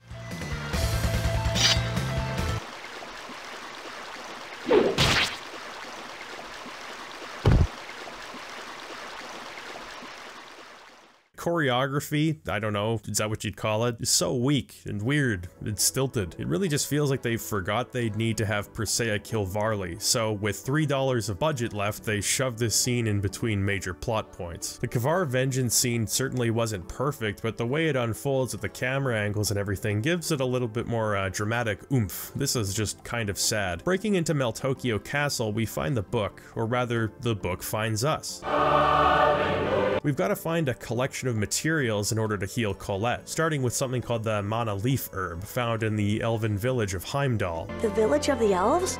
Secret village said to be off limits to anyone except Elvenkind? That's the one. Heading to Heimdall means traversing the Ymir Forest. The puzzle here falls somewhere between annoying and kind of entertaining. Some elven kid is blocking the way, asking you to find a fruit in the forest that'll supposedly heal his sick mother. Don't make me angry, kid. Don't make me angry about elves. The sorcerer's ring directs animals in the forest to perform certain tasks, starting with knocking a fruit into the water. It's pretty hilarious, going to these cockamamie lengths to get the fruit, making pigs charge at rocks, getting a ride across the forest from birds, but it's equal parts frustrating too. There's so many little things that can go wrong, and if you screw anything up, back you go all the way to the beginning to find the fruit again. Thankfully, there's some butterflies that give you a general idea of where to go, but most of this puzzle needs to be figured out yourself. I will say as puzzles go in this game, this one requires the most active involvement from the player. It's not just a teleportation maze or a block pushing test of patience, but a huge variety of tasks you need to perform to get the fruit, which in turn makes it hugely satisfying when you finally do grab it and get access to Heimdall. Unfortunately, like everyone else in the world, Heimdallians aren't too keen on half-elves. Whatever happened here, it's resulted in the mere mention of half-elves and the hero mithos becoming taboo subjects. I do like the atmosphere here, it reminds me of Ozette. There's just this quiet sadness surrounding the village. Whatever happened here clearly isn't over in their minds. They're distrustful and insular people. The village elder reluctantly informs the group where they can find find the Mana Leaf herb, Latheon Gorge, located deep in the mountains. He grants you access, and it's time for another navigational puzzle. This time you become a bubble and hitch a ride on these air-shooting plants.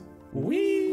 I like the idea. Some plants are dead, some are alive. Feeding plants various types of fruit will either rejuvenate them or kill them, both of which are occasionally necessary to either promote or interrupt an airflow. Unfortunately, there's only a couple times where you actually need to use the fruit, so what could have been a really solid puzzle ultimately isn't much more than a fun idea. After retrieving the herb, we find a storyteller living alone in the mountains. We're informed that Mithos, the hero that is, not the completely unrelated child living with Altessa, was born in Heimdall, but was cast out when the war began. His motivation for ending the war was quelling the discord between the different races. Even though they were treated with disdain, Mithos and his companions still moved forward with their ideals. The reason he's considered taboo in Heimdall is because he became a fallen hero. Mithos and Yggdrasil are actually the same person, Martel was his sister, Kratos and Yuan were his trusted companions, with Yuan being Martel's fiance, and their offspring are none other than the entirety of the cat's race.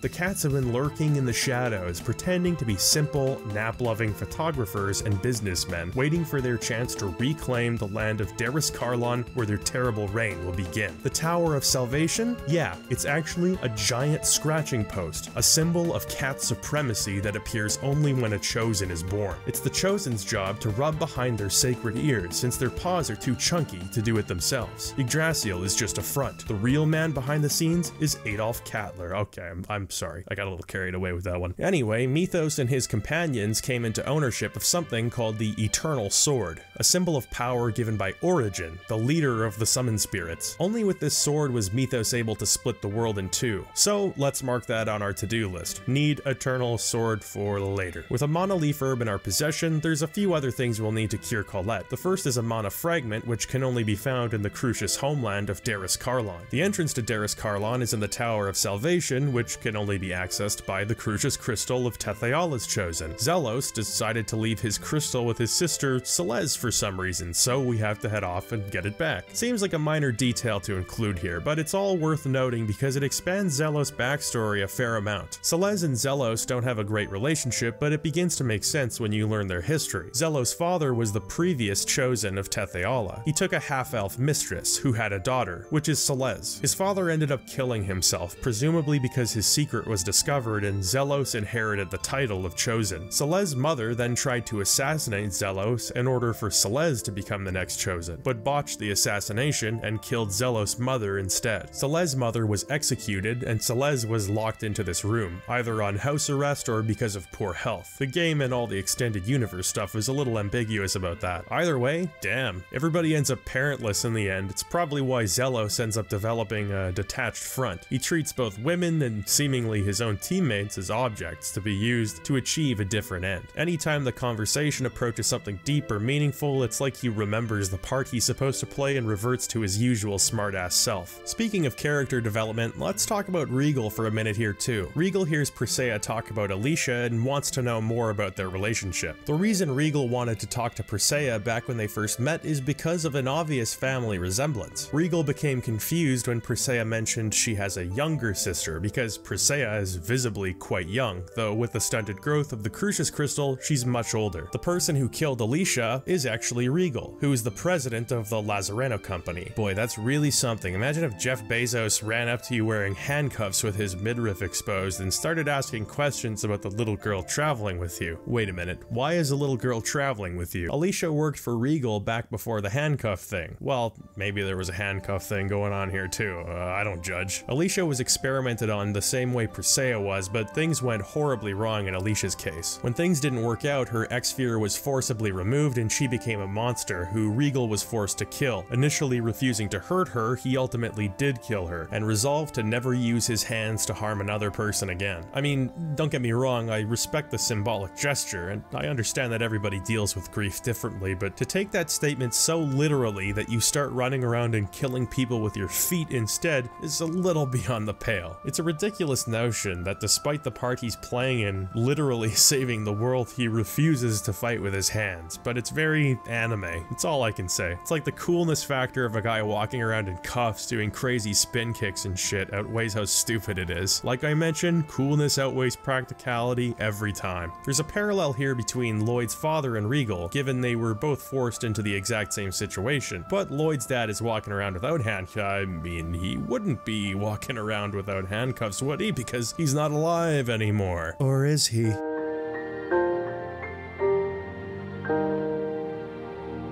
If Alicia's Exsphere isn't destroyed post-haste, her consciousness will continue to exist in the void for eternity, which would be rather unpleasant. So they say their goodbyes and she's laid to rest. With all of these different character arcs either ongoing or concluded, you can see how much effort Symphonia puts into its main cast. Their designs are fantastic and each one plays differently in combat, but there's a real focus played not only on giving them unique personalities, but backstories that appropriately frame those personalities. The creepy quiet girl may not exactly be a one-of-a-kind trope, but in Presea's case it makes perfect sense. She's been robbed of her humanity for decades, her time has been stolen from her and she's lost basically everything. For her to never smile, not show affection for others, and stay completely withdrawn makes sense. Regal's solemn expression is perfectly fitting for a man who has literally physically shackled himself to accountability, and the courteous formal manner of speaking starts adding up when you realize he runs the most powerful company in the world, if only in name at this point.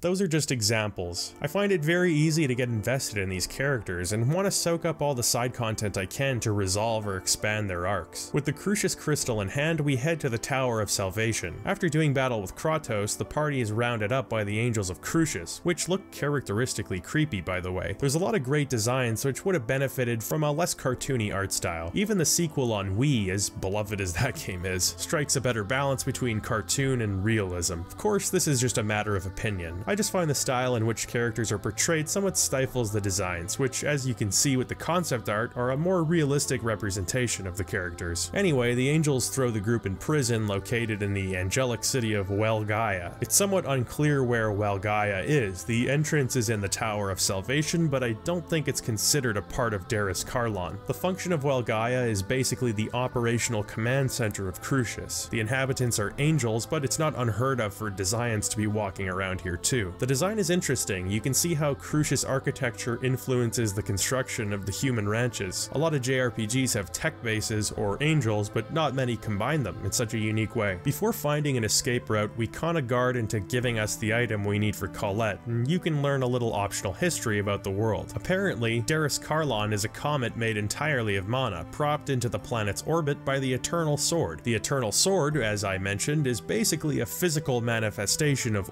Origin's power, allowing the wielder to control time and space. I feel like with power over time and space, a less charitable individual could spend a few hours or days picking apart Yggdrasil's choice in how he uses the sword. But hey, maybe there's just some limitations we're not aware of. In any case, the sword is basically the sole source of Cruxis' power, and without it, they'd lose Derris-Kharlan, the Great Seed, Martel, and basically everything would fall apart. During our escape, we have to do another one of these shit-ass puzzles. The whole justification is that the room has no gravity, but if that's true, why am I still anchored to the floor? Between that and the fact that this area is another giant maze, two of my favorite puzzle types are here. At least there's no block pushing puzzles. At the exit in the Tower of Salvation, we find the Eternal Sword. You have not the right.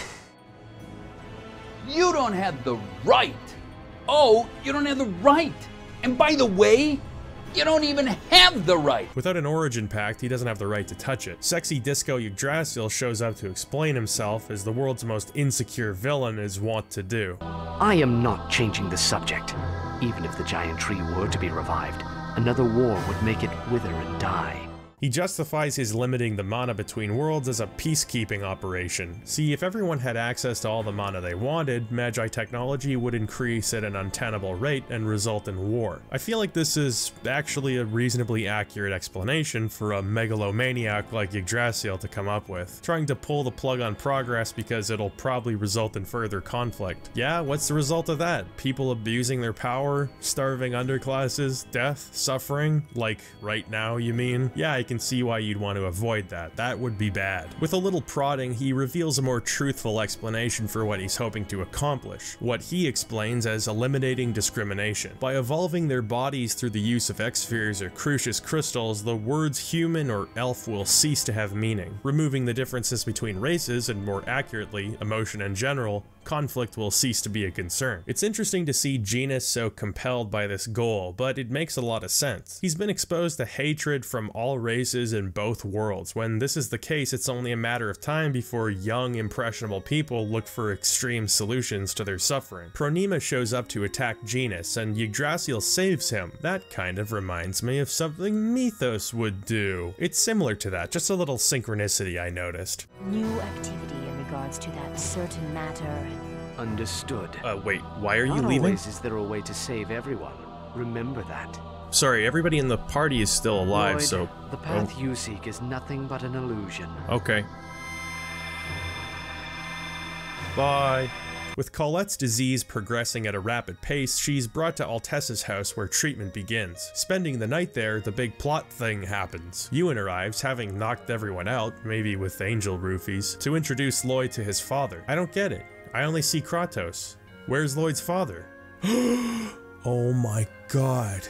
Lloyd doesn't have a father. Yeah, so Kratos is Lloyd's father. There are definitely some hints that this might be the case. Kratos is seen visiting Lloyd's mother's grave in the beginning of the game, which of course would have been his wife.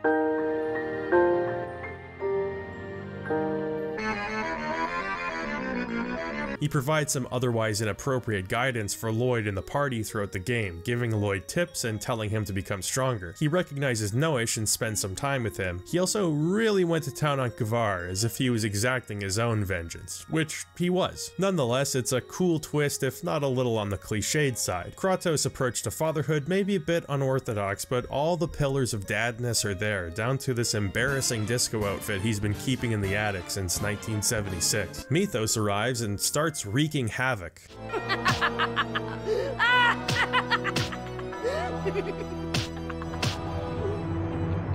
Stop it! What, what are you...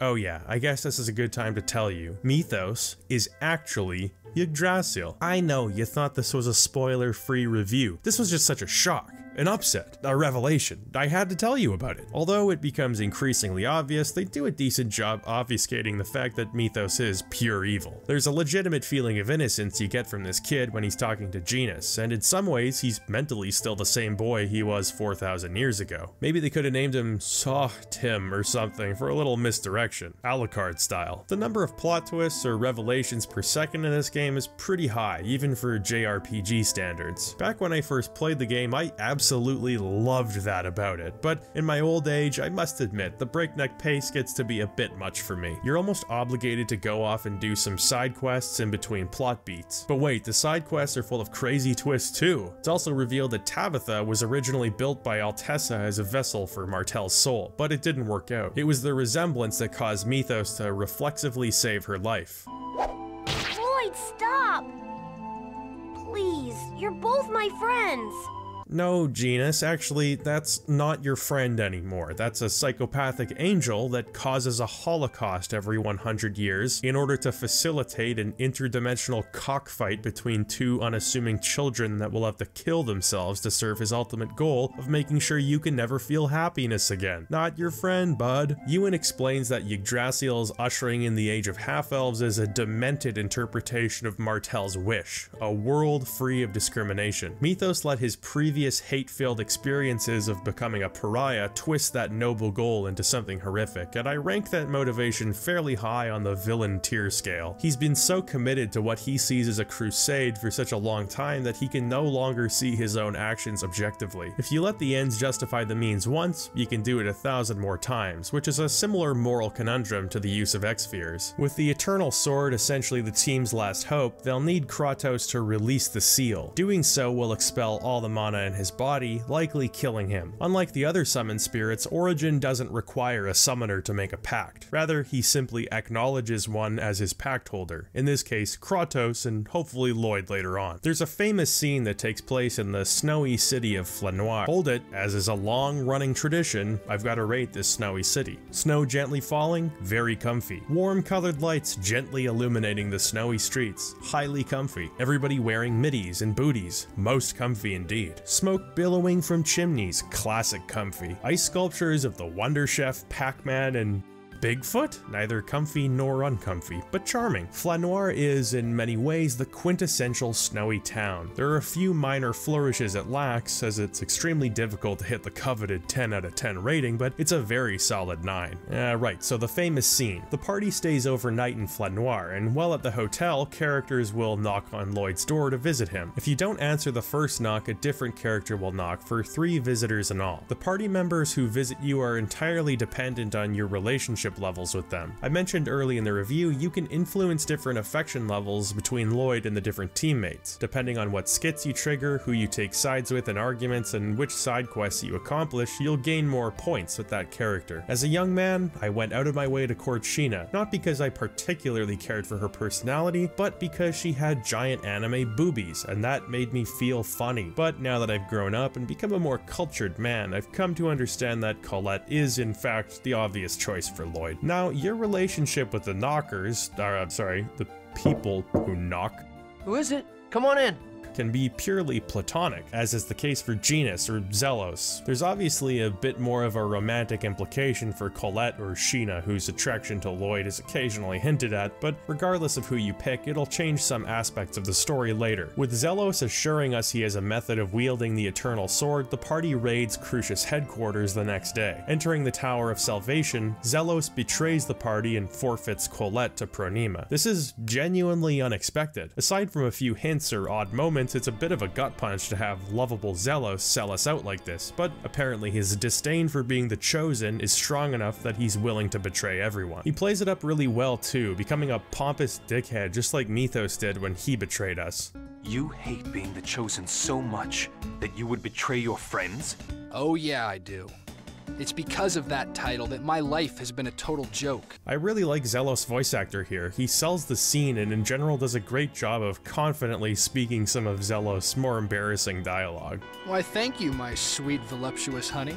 What happens next depends entirely on your actions in the story. Remember when I told you that three different visitors show up in Flanoir? I lied. There's a fourth. You can stick around and wait for Kratos to come. If you do that, the course of the story will change and you'll fight Zelos here. It's interesting to me that this scene is almost hidden. The conversation that occurs between Kratos and Lloyd in Flanoir does a lot to flesh out their relationship and deals with any remaining bad blood that may have existed between them. Meanwhile, fighting and killing Zelos in the Tower of Salvation is kind kind of tragic. Despite his obnoxious attitude, Zelos is a likable character. He injects some humor and absurdity into the dialogue when it's warranted, and like many of our characters, he's had a tragic past. To see our class clown lying here talking about how he didn't really want to live anymore. Why did you fight us?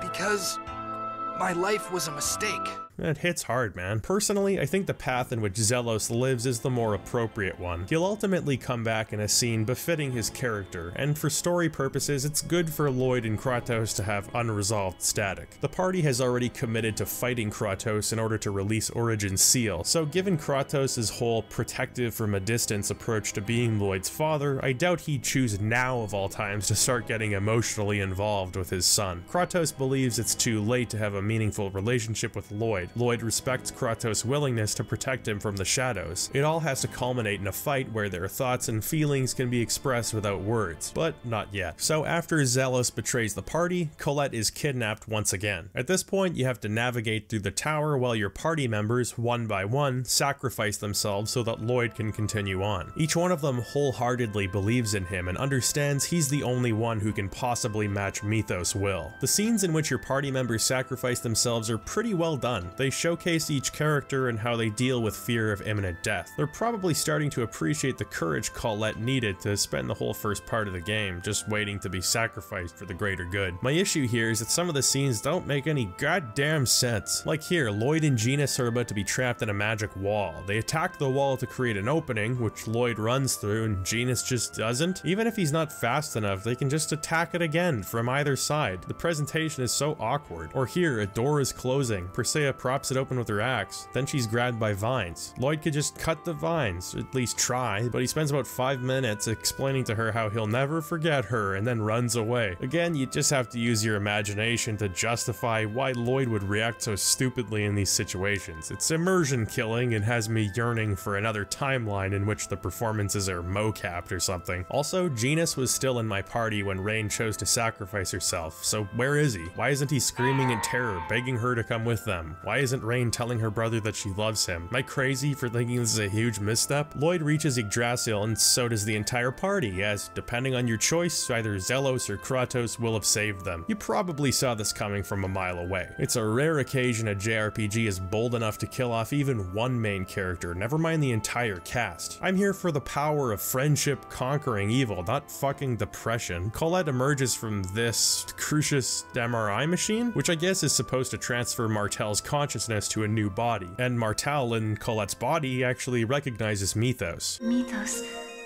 what have you done?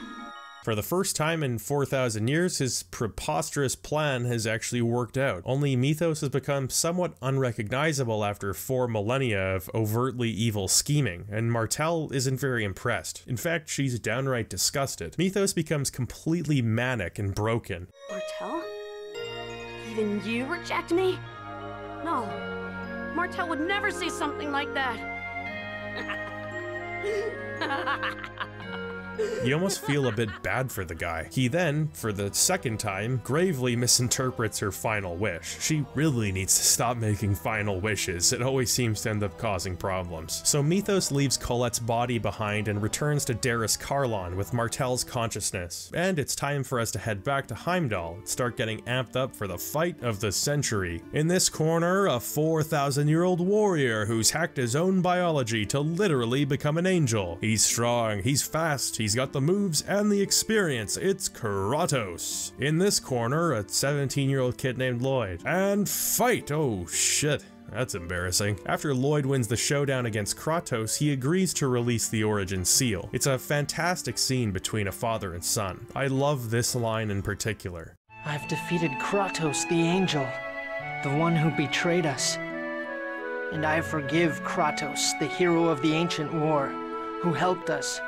That's all. It's absolutely emblematic of Lloyd's take on things. Mistakes can be undone, transgressions can be forgiven. In moving forward, we can find redemption, but sometimes we just need to duke it out first. A lot of times in media where someone is immortal or lived for 4,000 years, there's this assumption that they've got a wealth of knowledge and experience and just inherently understand life better than everybody else. But I don't think that would necessarily be the case. People become stuck in their ways, cynical, especially when they've seen so much horror in their lives lives. To live for a long time would be to lose a part of your humanity and forget the ideals that once drove you. Accruing knowledge and having experiences don't amount to anything if you lack the wisdom or self-reflection to apply them. And in Tales of Symphonia, it takes Lloyd's influence to remind Kratos of that. Sometimes you fight for so long, you end up fighting for the sake of it and forget what it is you're even fighting for in the first place. Combine that with a sunk cost fallacy of about 4,000 years of labor, and Kratos really needed to be shook out of his cold stupor by this dumbass teenager, fighting for the same things he and his companions once fought for. And that's what makes the father-son relationship beautiful, isn't it? For everything you can teach your kid, you get a nugget of wisdom in return. You may have already known it somewhere inside that big old, unfoundedly confident head of yours, but you do need the occasional reminder. Kratos releases the seal, but manages to survive. Origin comes forth expressing his lost faith. Boy, when the closest thing to God himself here lacks faith, the world is in pretty rough shape. Moved by Lloyd and now Kratos' optimism, Origin agrees to form a pact after battling the party. Unfortunately, just as the pact is made, Mithos shows up, or rather his consciousness does. After their battle in the Tower of Salvation, Genis picked up Mithos' Cruxis crystal as a memento of who he used to be as a friend, at which point Mithos' soul shows up and possesses Colette. He'll actually possess whichever party member you're closest with, but regardless of who he chooses, he snatches them up and takes them to Derris Kharlan. First of all, Genis being a dipshit, I can hardly believe it. Second of all, I'm not really clear on why he stole Colette's body, or how his consciousness can simultaneously exist in his own body and a Cruxis crystal. Or did he just disappear into the crystal here? Why? I thought a body needed to match a mana signature in order to be possessed, which is why the whole chosen system works the way it does. How can Mithos just possess any old party member? I got questions, man, and nobody here is answering them. Anyway, Colette's body is taken to Derris Kharlan and the Tower of Salvation starts collapsing. Mithos plans on taking Derris-Kharlan as well as the Great Seed and getting the hell out of here, the result of which will cause both Sylvarant and Tethe'alla to wither and die. In order to wield the Eternal Sword and reach Derris-Kharlan, Lloyd needs to use the Ring of the Pact, which Kratos just so happens to have, except it's broken. As with all our weird, specialized jewelry needs, we take it to the nearest dwarf, which is Lloyd's second dad, Dirk. Wow, look at this boy's house.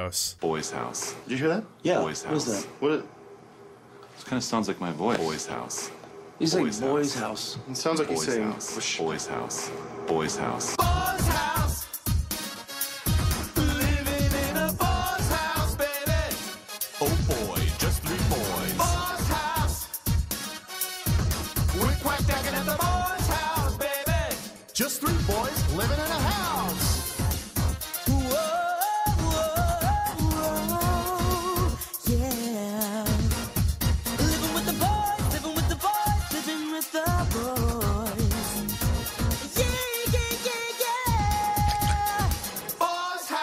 Sorry about that. Kratos gives Lloyd his sword, and Dirk reveals a sword he's been working on for a while. Great job on the color coordination, dads. Imagine if Dirk was crafting a bright green sword this entire time. That would be a fashion faux pas worthy of a mass extinction event. Together, the swords are called the Material Blades, and I'd be lying if I said I didn't think they were super badass when I played this game as a kid. And now. Now I know what you're thinking. Hurry it up, Majuular. We've got to get to Derris-Kharlan and save Colette. Now, hold your horses. Before we go one step further, I want to talk about the side quests. There are so many of them. Side quests, optional activities, mini games, they absolutely packed this game with missable content. Between that and all of the branching paths you can choose, there's a lot more replayability in Tales of Symphonia than the majority of games in this genre. There's also titles you can unlock for characters, either by completing optional activities or progressing the main story. Titles give you a stat boost and a particular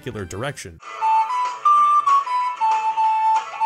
or in rare cases, change your character's costume. I'm gonna cruise through some of these side activities so you can get an idea of what I mean. There are mini games like uh, Red Light, Green Light, Simon Says, and of course, Desert fucking Uncle. Desert Uncle is the most absurd thing I've ever committed to in a JRPG, and that feat will not be easily topped henceforth. There's a specific window of time where you can head back to the desert and encounter a middle-aged man. He's put a group of men together for a game that he calls Desert Uncle. After very, very nervously agreeing, what you find is a mini-game where uncles walk towards the screen. They stand in a police-style lineup afterwards where you have to identify each one in the order that they pass the finish line. It starts out manageable but becomes really, really hard really fast. I mean, look at all these uncles. To keep track of them is madness. And you're rewarded with 2,000 gald, sorry, 1,980 gald. That is nothing. However, if you complete it, you'll unlock a harder difficulty mode. If you beat this harder difficulty mode, you get nothing. But if you do it like five times, you'll unlock a title for Lloyd called Midlife Crisis. It is utterly useless. It offers no benefits, no costumes,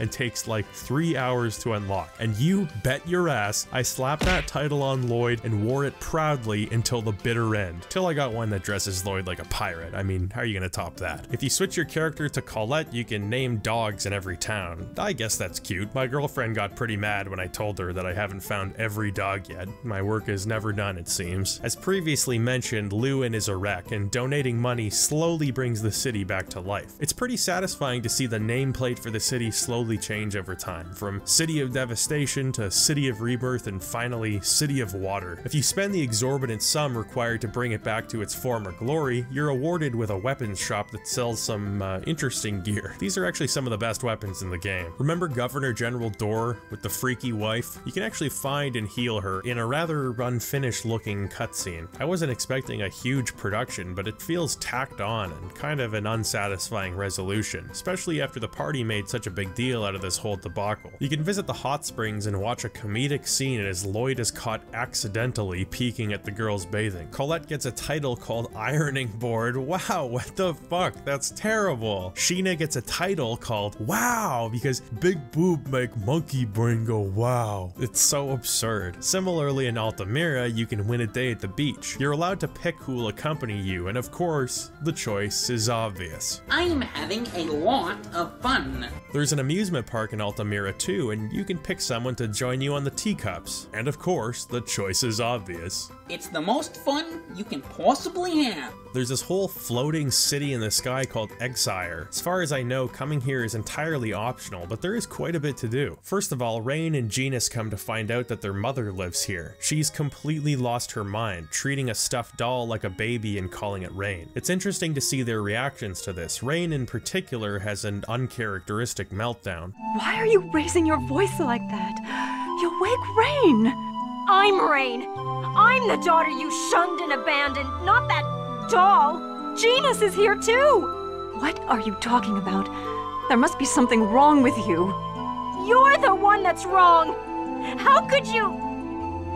How could you? Genis' only memories are of being an Iselia, while Raine remembers fragments of Tethe'alla and carries the trauma of being abandoned. Reading their mother's diary reveals that abandoning them was out of necessity. Because Raine was hyper-intelligent, the family were pursued by the Imperial Research Laboratory, who keep half-elves in servitude to the state. Rather than being forced to give up Raine and probably Genis to an unscrupulous group of scientists, she sent them through the otherworldly gate, figuring it would probably result in a better life than what she could offer them. Despite the fact that she she's lost her mind, Raine and Genis promise to visit her again. And this not only offers some solid insight into Raine's personality, but it's a nice bit of closure for their arc, which has up till now kind of been up in the air. I will say there's a much stronger focus on Raine than Genis here, which I get. They have basically the same background, only Genis is younger and less experienced, so there's less to do with him. Every single person in the party has some kind of tragic backstory except for Genis. They try to make up for his lack of real arc by having him be personally betrayed by Mithos Revelation, but he remains the less interesting character out of all of them, if you ask me. There's one more thing you can do in Exire. If you have all the other summon spirits under your belt, you can find a secret path behind a house and find a hidden summon spirit, Maxwell, who's supposed to represent the four elements. He's represented as a goofy old man. His energy is what keeps Exire afloat. You can defeat him and get his summon spirit to be used in battle, but I don't really use Sheena, so you might get more mileage out of him than I did. You can fight in the Colosseum, attend a dinner party to get formal clothes for everyone, find Corrine's spirit reincarnated and give Sheena some closure, get Regal a sick-ass chef outfit, get Genis a sick-ass cat's outfit, get Presea a sick-ass Klonoa outfit, waste 14 hours gambling in the casino until you finally hit it big and spend 150,000 chips on an outfit for Raine that isn't even close to worth it, and then there's the Sword Dancer. The Sword Dancer shows up periodically through the story, offering up a pretty tough challenge each time. If you manage to find and defeat him three times, you get Lloyd's best weapon. Wow, showing up the material blades already, huh? This is like your dad giving you the Les Paul he's had for 35 years as a Christmas gift and then him finding it collecting dust under your bed. There's another side quest worth mentioning called the Devil's Arms. During the story, you're approached by a demon hunter named Abyssion. I guess it's his mission to fight the Abyss, which, if you stare at long enough, will call the police on you for the third time this month, Barb. The third fucking time. The police have real crimes to solve. It's not your sidewalk. I can look wherever I want. You can just get some curtains if it bothers you so damn damn much. Abyssion asks you to collect a set of weapons called the Devil's Arms. They appear pretty weak, but apparently gathering them together is a necessary step in stopping an evil mage called Nebelim. Some of the Devil's Arms are pretty easy to find, others require you to jump through hoops to hunt down. If you bring them back to the Temple of Darkness, Abyssion uses their power to become an incarnation of Nebelim himself, resulting in one of the toughest fights in the game. I was playing on normal, but this was a little taste of what Mania difficulty must be like. The quick thinking and strategy you have to employ far outweighs anything I experienced in the game thus far. I can imagine it's quite a different experience on higher difficulties, but I'm not sure that would necessarily make the combat better, at least for my tastes. Animations are still stiff, there are too many roadblocks that interrupt your momentum, and having to pause to go into the menu to grab healing items every few seconds does get old very fast. Nonetheless, Abyssion is a great fight that really put my characters to the test. You can also return to the village of Mizuho as Sheena and duel Kuchinawa to settle mm-hmm. things. This fight always whooped my ass back in the day, but I think I was a sufficiently high level this time that it didn't give me too much trouble. Sheena is just a bit clunky to play as after Lloyd, and outside of summoning, her techs don't really offer much by way of utility. It seems that's often the case in Symphonia that the game will introduce an arc or problem with its characters before letting you actively choose whether or not you want to resolve it. As I mentioned before, I appreciate the boldness of the developers, allowing you to choose whether or not you want to pursue such a huge swath of content, and it does feel more rewarding to finish up a story knowing that you weren't required to do so. The last side quest worth mentioning is something so obscure and out of the way, but so substantial I've spent every waking moment trying to understand why they hit it so much. There's an optional dungeon called Niflheim in the game, something I never knew about when I was younger and likely never would have figured out. At the very ass end of the game, instead of heading through the doors to the final confrontation, you have to solve one last block puzzle. Doing that and talking to a few people in Heimdall will ultimately lead you to a library we've been to during the main story. There's a cursed book here that'll pull you into Niflheim. It's randomly generated with each floor offering a different challenge. You've got to complete each floor before time runs out before facing off against a boss. This first boss, I'm convinced, is impossible on a first playthrough. I'd have to go all the way back here on a new game plus file with my stats upgraded, because the floor was effectively wiped down with my ass cheeks.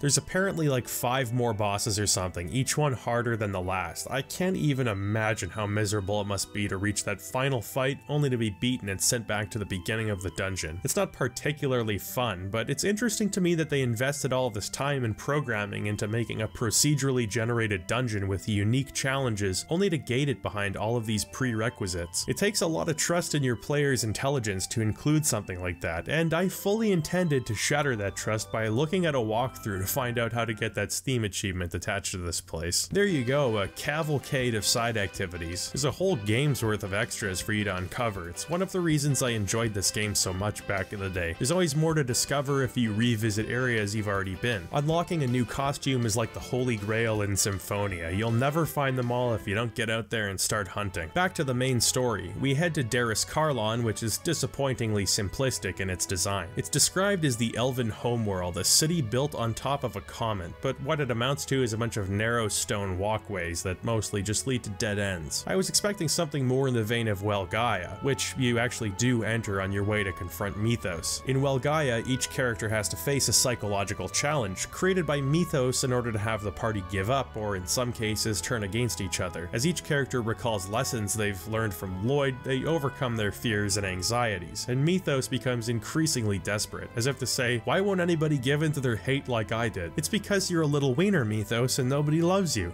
You little bastard. Your sister rejected you, her fiance thinks you're creepy, and Kratos is smoking a cigar and sipping cognac on Dirk's patio right now while they swap embarrassing Lloyd baby stories. Did you know he called his underwear panties until he was almost seven years old? Lloyd once ran buck naked through the Tethe'alla royal family's dining room. Colette is rescued and we infiltrate Mithos Castle, which is a little more like what I was expecting from Derris-Kharlan. It's kinda cool to walk around entering all the different rooms. There's libraries and dining areas. It's dungeon-esque, sure, but it actually seems like a place where a tyrant like Mithos would decide to live. Before confronting Mithos, we get the classic, every party member pipes up to talk about what this means to them scene. You gotta love it. Mithos has reverted to an almost childlike view of the world at this point, outright ignoring and disparaging all of the perfectly logical objections the party has to his increasingly genocide-y worldview. You fight Angel Mithos here, and it's a pretty good fight. Not nearly as ball-busting as Abyssion, but a solid challenge. As an aside, I find it cool how everyone with the Cruxis Crystal has different looking angel wings. If the mana signature is supposed to be like DNA in this world, maybe angel wings are like fingerprints. Everybody's are unique. Now what would a final boss battle be without a second fa- Oh, what the fuck is this? Where did you get this? How are you squeezing in there? Does the compartment fill with LCL before it can be used? Now this second phase is embarrassingly easy. He has next to no ability to guard, so you just wail on him till he loses. And honestly, I'm all for that. Getting to serve Mithos a cosmic beatdown feels like a just reward after all the punishment he's put us through. Despite all of that, Lloyd decides to grant Mithos one final mercy by destroying his Cruxis crystal before his consciousness is trapped forever. With the Eternal Sword in hand, Lloyd tells Origin to restore the link between both worlds. However, it seems like the Great Seed has died, which means the land is doomed in spite of its relinking. Lloyd's Exsphere glows and he sprouts some really impressive angel wings. I guess that's the result of Project Angelus, which Lloyd's mother was forced into. Now, I know the angels of Cruxis, so I say that size doesn't matter, but good god damn, look at those things. He's the most angel-y angel yet. How can Mithos' wee little winglets compare? Lloyd and Colette fly to the Great Seed. Oh yeah, she can fly, remember? Why couldn't she just fly out and grab that fucking fruit? Why did I have to sacrifice so many pigs? They fly out to the Great Seed using the mana of Derris-Kharlan to revive the seed and thus Martel, who is intertwined with that seed. Martel shows Lloyd what'll become of the Great Kharlan tree one day, but for now it's just a seedling. Ultimately, it'll supply enough mana to both Sylvarant and Tethe'alla, which are at last connected to each other. She asks him to name the tree and he calls it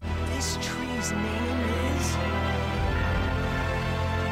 Nothing, since the game ends before he can give it a proper name. Talk about a cockblock, but I figure it must be Yggdrasil, since that's actually the name of the world tree in Norse mythology. Although Great Kharlan Tree is a perfectly serviceable name. How about Bobson Dugnut, or Sleeve McDykel? In the end, Sheena returns to the village with the ultimate fate of becoming village chief. Zelos? Well, I'm not really sure, but he's in good standing with the Tethe'alla royal family, so we can assume his aristocracy continues in some form. Presea joins with Regal who's reassumed control of the Lezareno company in order to destroy all Exsphere manufacturing facilities and revitalize the lands that are still suffering. I feel slightly robbed that Regal is still wearing cuffs. I feel like it would have been a solid ending for him to be donning his El Presidente suit and finally forgiving himself, but character models take a long time, I get it. Kratos decides to stay with Derris-Kharlan with the justification of, if a half-elf of Cruxis remains here, the other half-elves will have no place to live. I guess the implication is that Cruxis is so universally hated that they really need to be wiped from the face of the earth in order to give the half-elves a chance to have a fresh start. The only problem is that Kratos isn't a half-elf, he's a human. We've established many times that he's a human, so this line doesn't actually make any sense. Nonetheless, it's a great send-off for Kratos and signifies their relationship as father and son, distant though it may be.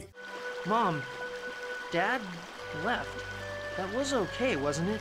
For me to let him go? It was okay, right? Lloyd, you wanted to go with him, didn't you?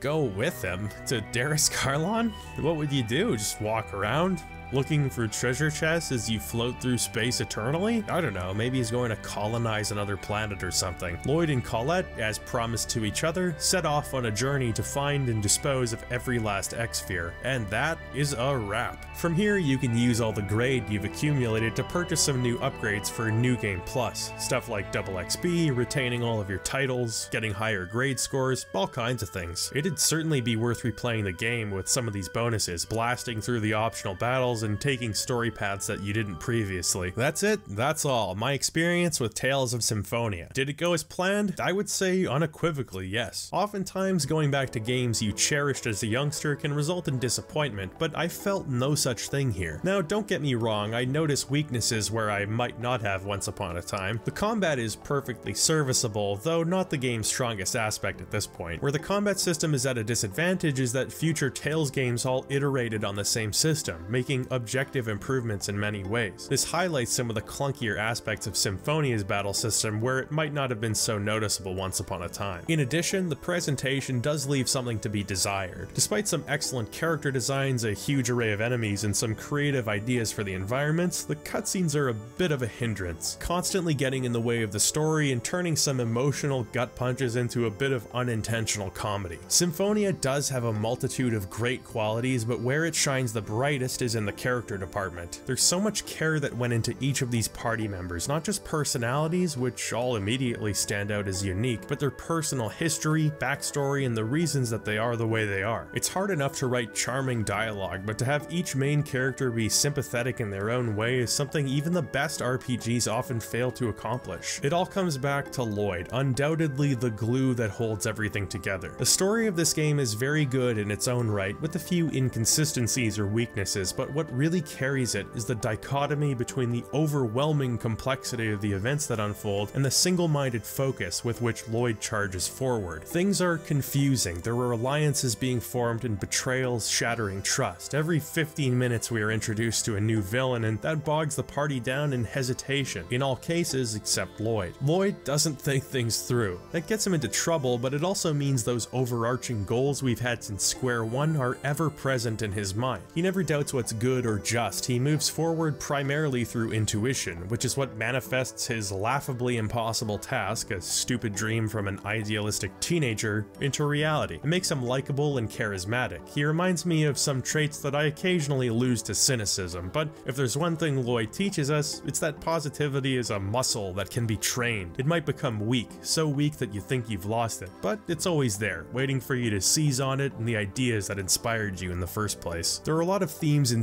Symphonia, what it means to practice the virtue of sacrifice. When is a sacrifice noble, worthwhile, and when is it just a wanton disregard for your own life? Speaking of life, there's another prevalent theme, every life being deemed equal. People living freely without the fear that drives discrimination or the fear born from being discriminated against. People aren't just what they look like or who their parents were, they're the culmination of their actions, and if your actions have been shitty, well, hey, people can change. If you can internalize that, then maybe a world free of discrimination isn't just some sociopathic angel man's pipe dream, but a real possibility for those who understand differences rather than use them as bludgeoning tools. In a world full of confusing alliances, politics, ideologies, this thing, conflicts, and disasters, it takes a real Lloyd type person to stick to their principles and call a spade a spade. I may not have realized it back when I first played the game, but it's that simplicity filtered out from all the colorful anime craziness of Symphonia that really resonated with me, and playing it again after all of these years was like partying down with an old friend. He's the same guy I remember. He's over the top, he's got his problems, but he's got heart. I've spent a lot of time with him and I'm a little exhausted, but I know we'll be seeing each other again sometime in the future. Also, he's got an older brother that everybody hates, and I guess I'm morally obligated to go hang out with him too. Thanks so much for watching this video. When I started playing Symphonia, I had no idea the script would be this long, and it's turned out to be quite a monumental project compared to what I'm used to. I'd like to thank my patrons. Your continued support means the world to me. And in particular, I'd like to thank those in my Person of Lordly Caliber patron tier. Matthew Dick and Adams, uh, I'll go with Safranco, even though my Canadian prairie brain wants to say Safranco. Can't tell you how many times I had to do another vocal take because I said mana instead of mana. If you enjoyed the video and want to see more, please consider liking and subscribing. If you really liked it and want to see more, please consider becoming a patron. Every little bit helps. Don't underestimate how much kicking in even just a couple bucks makes a difference for me. Much as I enjoyed Symphonia, I'm happy to be done with it for a little while. Plenty of gas left in the tank though, and lots of ideas for the future, so all I can say is, I hope you enjoyed the video, and until next time, stay healthy, wealthy, and wise.